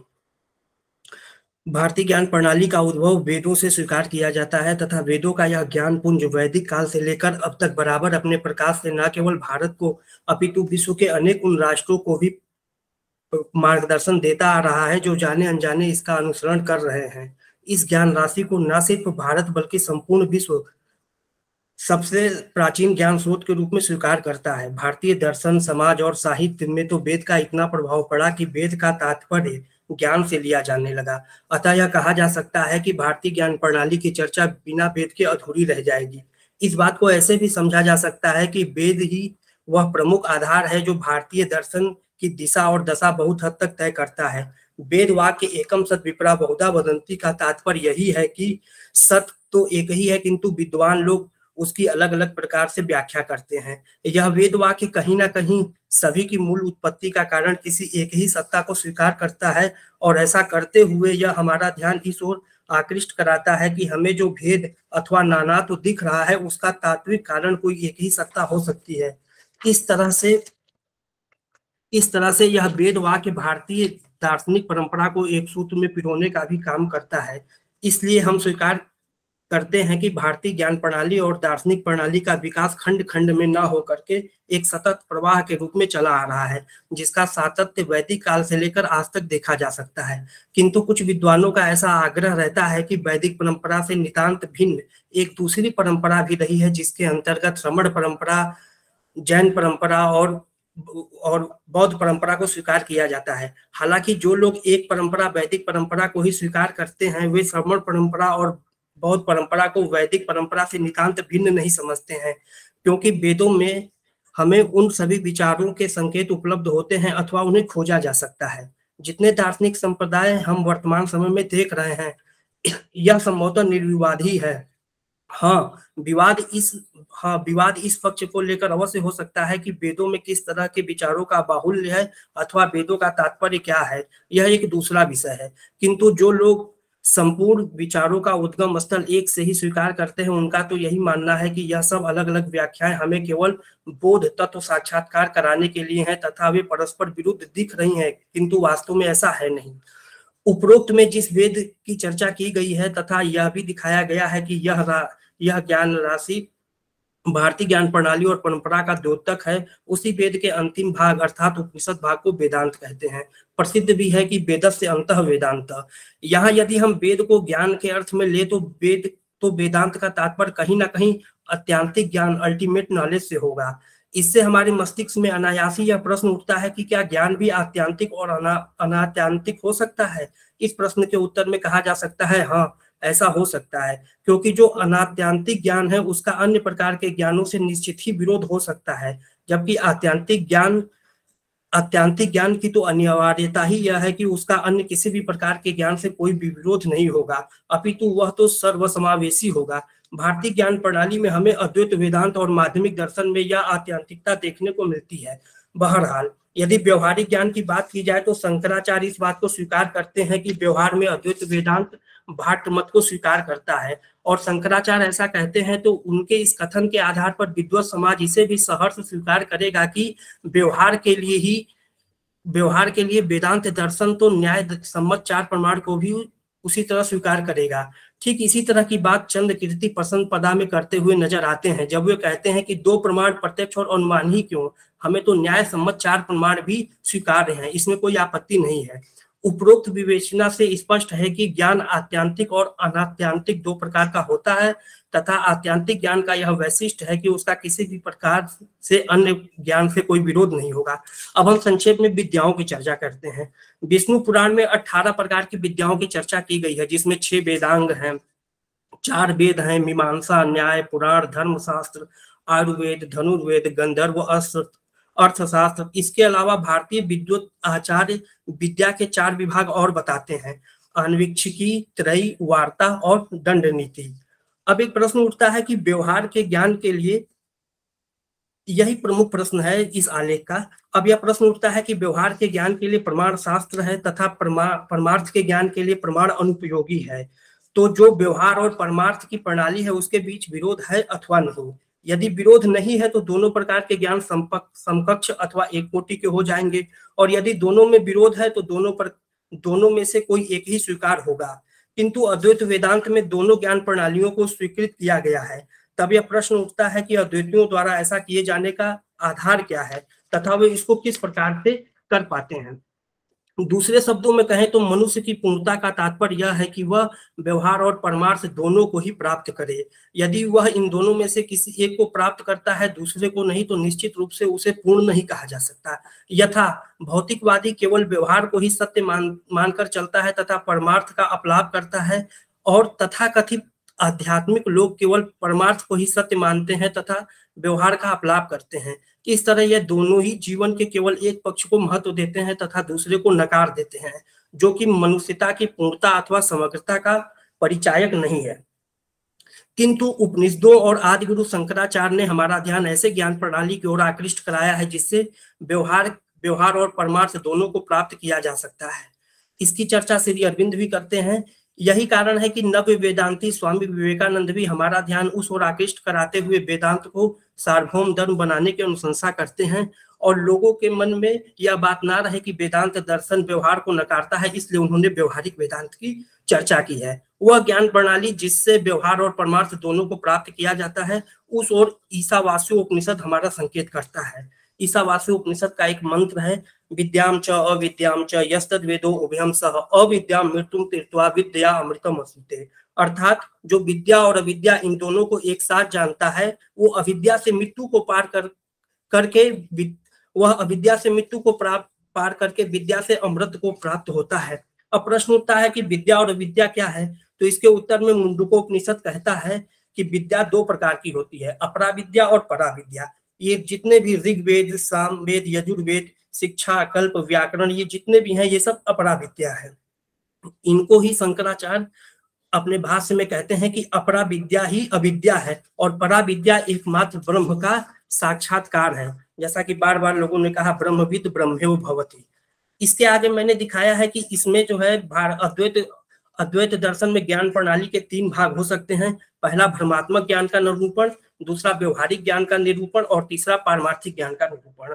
भ्रमात्मक ज्ञान के निरूपण में वही अनिर्वचनीय ख्याति जो आती है, आप सभी परिचित हैं। फिर व्यवहारिक ज्ञान के निरूपण में वेदांत परिभाषाकार जिन छह प्रमाणों की चर्चा करते हैं, उनकी चर्चा की गई है और उसके बाद पारमार्थिक ज्ञान का निरूपण, इस पे थोड़ा बोलना चाहेंगे। परमार्थिक ज्ञान का निरूपण जिसका हमको वेदांत सार में दिखता है, जहाँ पे पारमार्थिक ज्ञान के निरूपण में कहा गया है कि वेदांत में अध्यारोप और अपवाद की चर्चा की गई है। अध्याप, अध्यारोप को परिभाषित करते हुए कहा गया है, जो सर्प नहीं है, उस रज्जु में सर्प के आरोप की भांति वस्तु में अवस्तु का आरोप ही अध्यारोप है। तब प्रश्न उठता है कि वेदांत दर्शन में वस्तु और अवस्तु क्या है? तो इसके उत्तर में कहा जाता है कि सच्चिदानंद अनंत अद्वय ब्रह्म ही वस्तु है, तथा अज्ञान आदि समग्र जड़ वस्तु, जड़ जड़ समूह अवस्तु है। अपवाद क्या है? तो अपवाद को परिभाषित करते हुए कहा जाता है, जो अवस्तुभूत है, उसका वस्तु के रूप में उपदेश करना ही अपवाद है। जिस प्रकार घट मिट्टी से अलग नहीं होता नहीं है, मिट्टी ही है, उसी प्रकार जिस क्रम की, जिस क्रम से उत्पत्ति बताई गई है, उसी क्रम से कार्य को कारण के रूप में समझना, कार्य की सत्ता को कारण की सत्ता से अतिरिक्त नहीं समझना ही अपवाद है। इस प्रकार की बात शंकराचार्य ब्रह्म सूत्र के भाष्य में भी करते हुए देखे जाते हैं जहाँ वो लौकिक उदाहरण देते हुए कहते हैं कि जिस क्रम से सीढ़ी पर ऊपर चढ़ा जाता है उसी क्रम से नीचे उतरा जाता है। अब मैं इस पेपर को खत्म करते हुए बताता हूँ कि दिग्विजय जी कर दीजिए दो मिनट में। एक मिनट में। जी जी इस तरह अध्यारोप और अपवाद के द्वारा जब शिष्य को ज्ञान होता है तो अध्यारोप अपवाद के माध्यम से जब यह बता दिया जाता है कि एकमात्र ब्रह्म ही तत्व है उसके अतिरिक्त जो कुछ भी भासमान है वह सब कुछ उस ब्रह्म में अध्यस्त है तो उस अध्यारोप और अपवाद के द्वारा तत्वमसी वह तुम हो। इस वाक्य के घटक तत्पद और तोम पद का क्या अर्थ है? इसका शोधन भी हो जाता है। इस प्रकार देखा जा सकता है कि व्यवहार और परमार्थ, इन दोनों की प्राप्ति अद्वैत वेदांत के द्वारा बताई गई ज्ञान प्रणाली से हो जाती है। क्योंकि वेद को भारतीय ज्ञान राशि के रूप में स्वीकार किया जाता है, और उस वेद के अंतिम भाग, अर्थात उपनिषद भाग को वेदांत कहते हैं, जिसके द्वारा व्यवहार और पारमार्थ इन दोनों को प्राप्त किया जा सकता है। अतः इस अर्थ में कहा जा सकता है कि जितने बेहतर ढंग से भारतीय ज्ञान प्रणाली को अद्वैत वेदांत प्रस्तुत करता है, उतने बेहतर ढंग से अन्य दर्शन नहीं। प्रोफेसर टीआरबी मूर्ति भी अपनी पुस्तक the central philosophy of Buddhism में कहते हैं कि औपनिषदिक परंपरा के विकास को देखते हुए यह कहा जा सकता है कि यद्यपि समस्त ब्राह्मण प्रस्थान उपनिषद से उद्भूत हैं, तथापि यह स्वीकार करने में तार्किक संगति है कि केवल अद्वैत वेदांत ही उपनिषदों के मर्म तक पहुँचता है। इस आधार पर यह कहा जा सकता है कि अद्वैत वेदांत भारतीय ज्ञान प्रणाली की व्याख्या करने में सफल रहे। Thank you thank you so much is there any question we can take up one question if any no okay so we are already running late without any further do I am inviting professor D N Tiwari sir for the presidential remark please come sir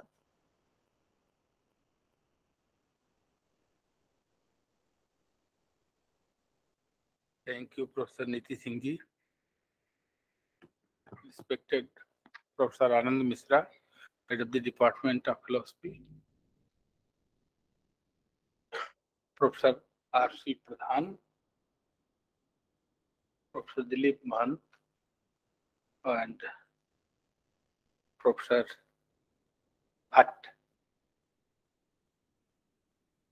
Many scholars in the audience. Professor Ambika Dutt Sharma ji, and research scholars. Really, you know, I'm not going to present a parallel speech. I will take only five minutes. And these five minutes for justifying myself are doing unjust, injustice with the distinguished scholars who presented their paper in five and ten minutes. You know, these are philosophers of the present time. Professor uh, Paneerselvam, Professor uh, R.K. Rai, Professor R.P. Singh ji, and uh, others. So, you know, it's always amusing to listen them for hours and hours.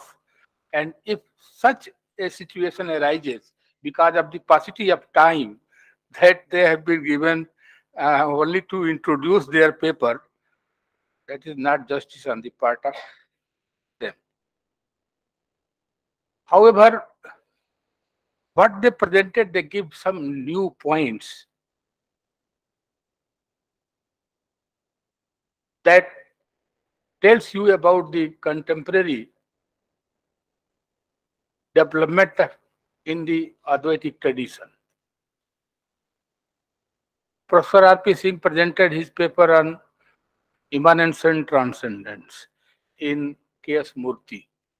So earlier I was knowing that K.S. Murthy in his Advaita Vedanta has uh, inserted the trinity of Christianity and all that.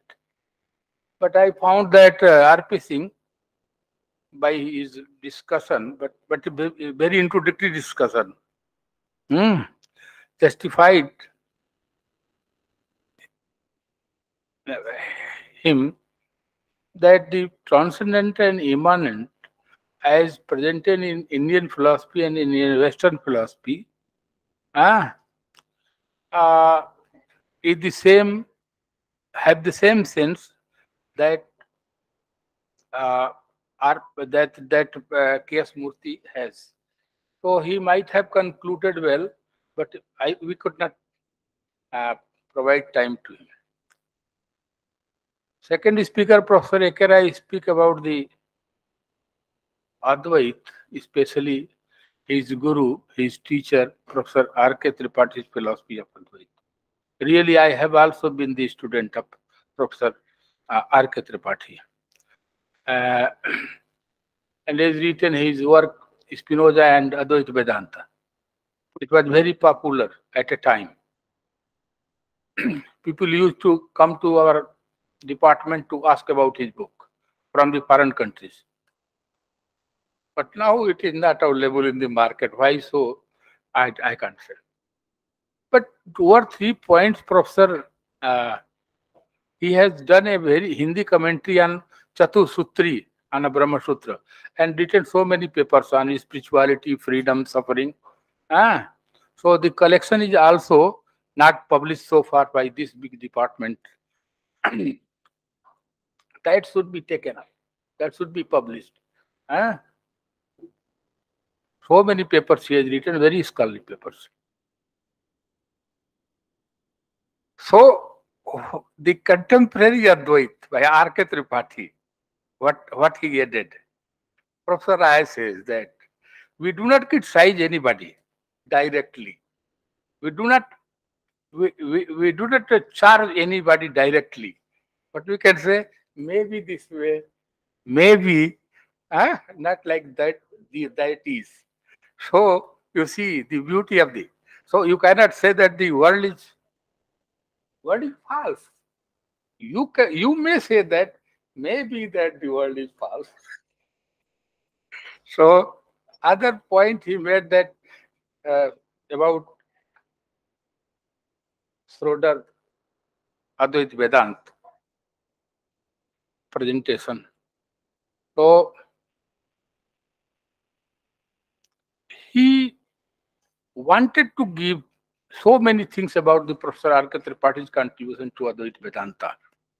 But he only gives few points on on spirituality, on, on, on perfection and spirituality.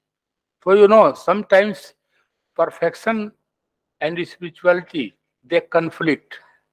Perfection is ideal. So it is a determination. It can determine you. This is only the perfect idea, perfect way to do that thing. And if you are perfect in something, you may not be perfect in other thing. And very difficult to be a Socrates uh, and to follow the pathway of the animal. Very difficult. So he may be a perfect man, but a perfect uh, philosopher, but he may not be a perfect man. So perfection always contradicts, but spirituality opens. It opens the knots, the problems of our mind, and makes our mind free. So the midway, by interpreting the action, Professor R. A. K. Rai beautifully shown the, how Professor Tripathi introduced egolessness in doing. That is the Gita way.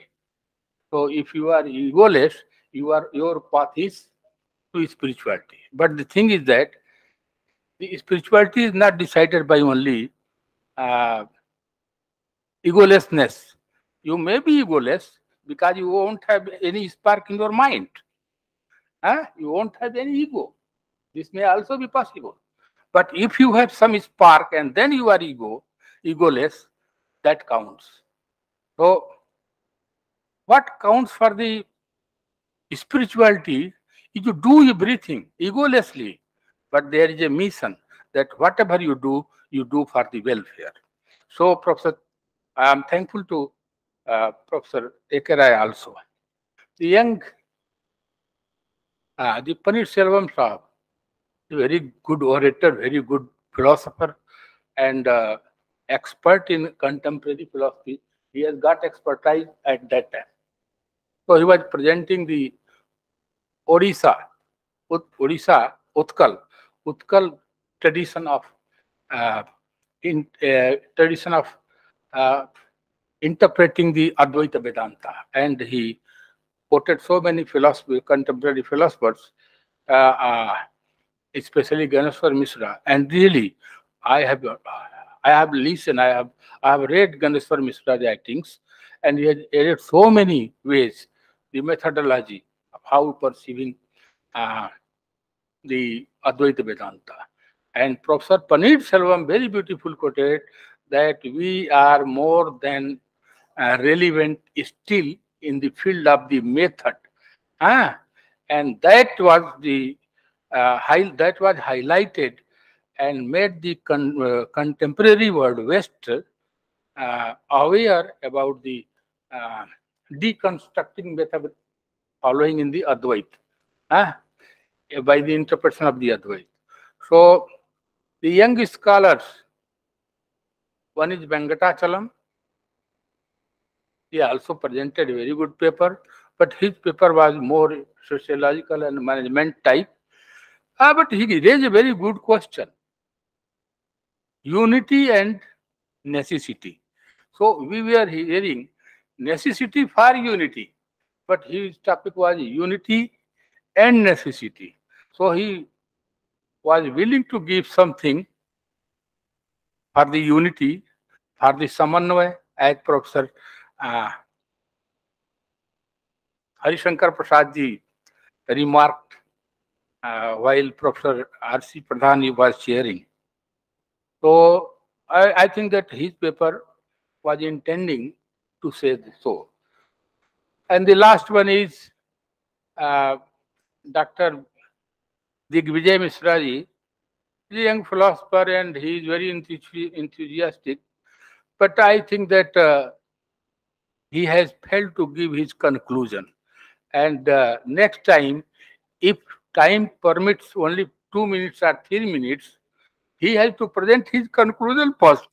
So this is with this suggestion, I am uh, I, I thank uh, uh, to the team uh, of the department and especially to uh, Neeti Singh ji and to the chair, to the head of the department, Professor Anand Mishra, for organizing such a seminar, which I was waiting uh, since long, that there must be a seminar on uh, post-Advaitic, uh, Ad- uh, post-independence Advait. And very happy to find here Ambika Dutji and uh, um, Professor Bhat and Professor R.C. Pradhan among the audience. Thank you very much. Thank you so much, sir. Thanks to all the participants. And now, uh, with the permission of the chair, I'm announcing the end of the program here, but you are all invited for high tea now. Thanks, one and all.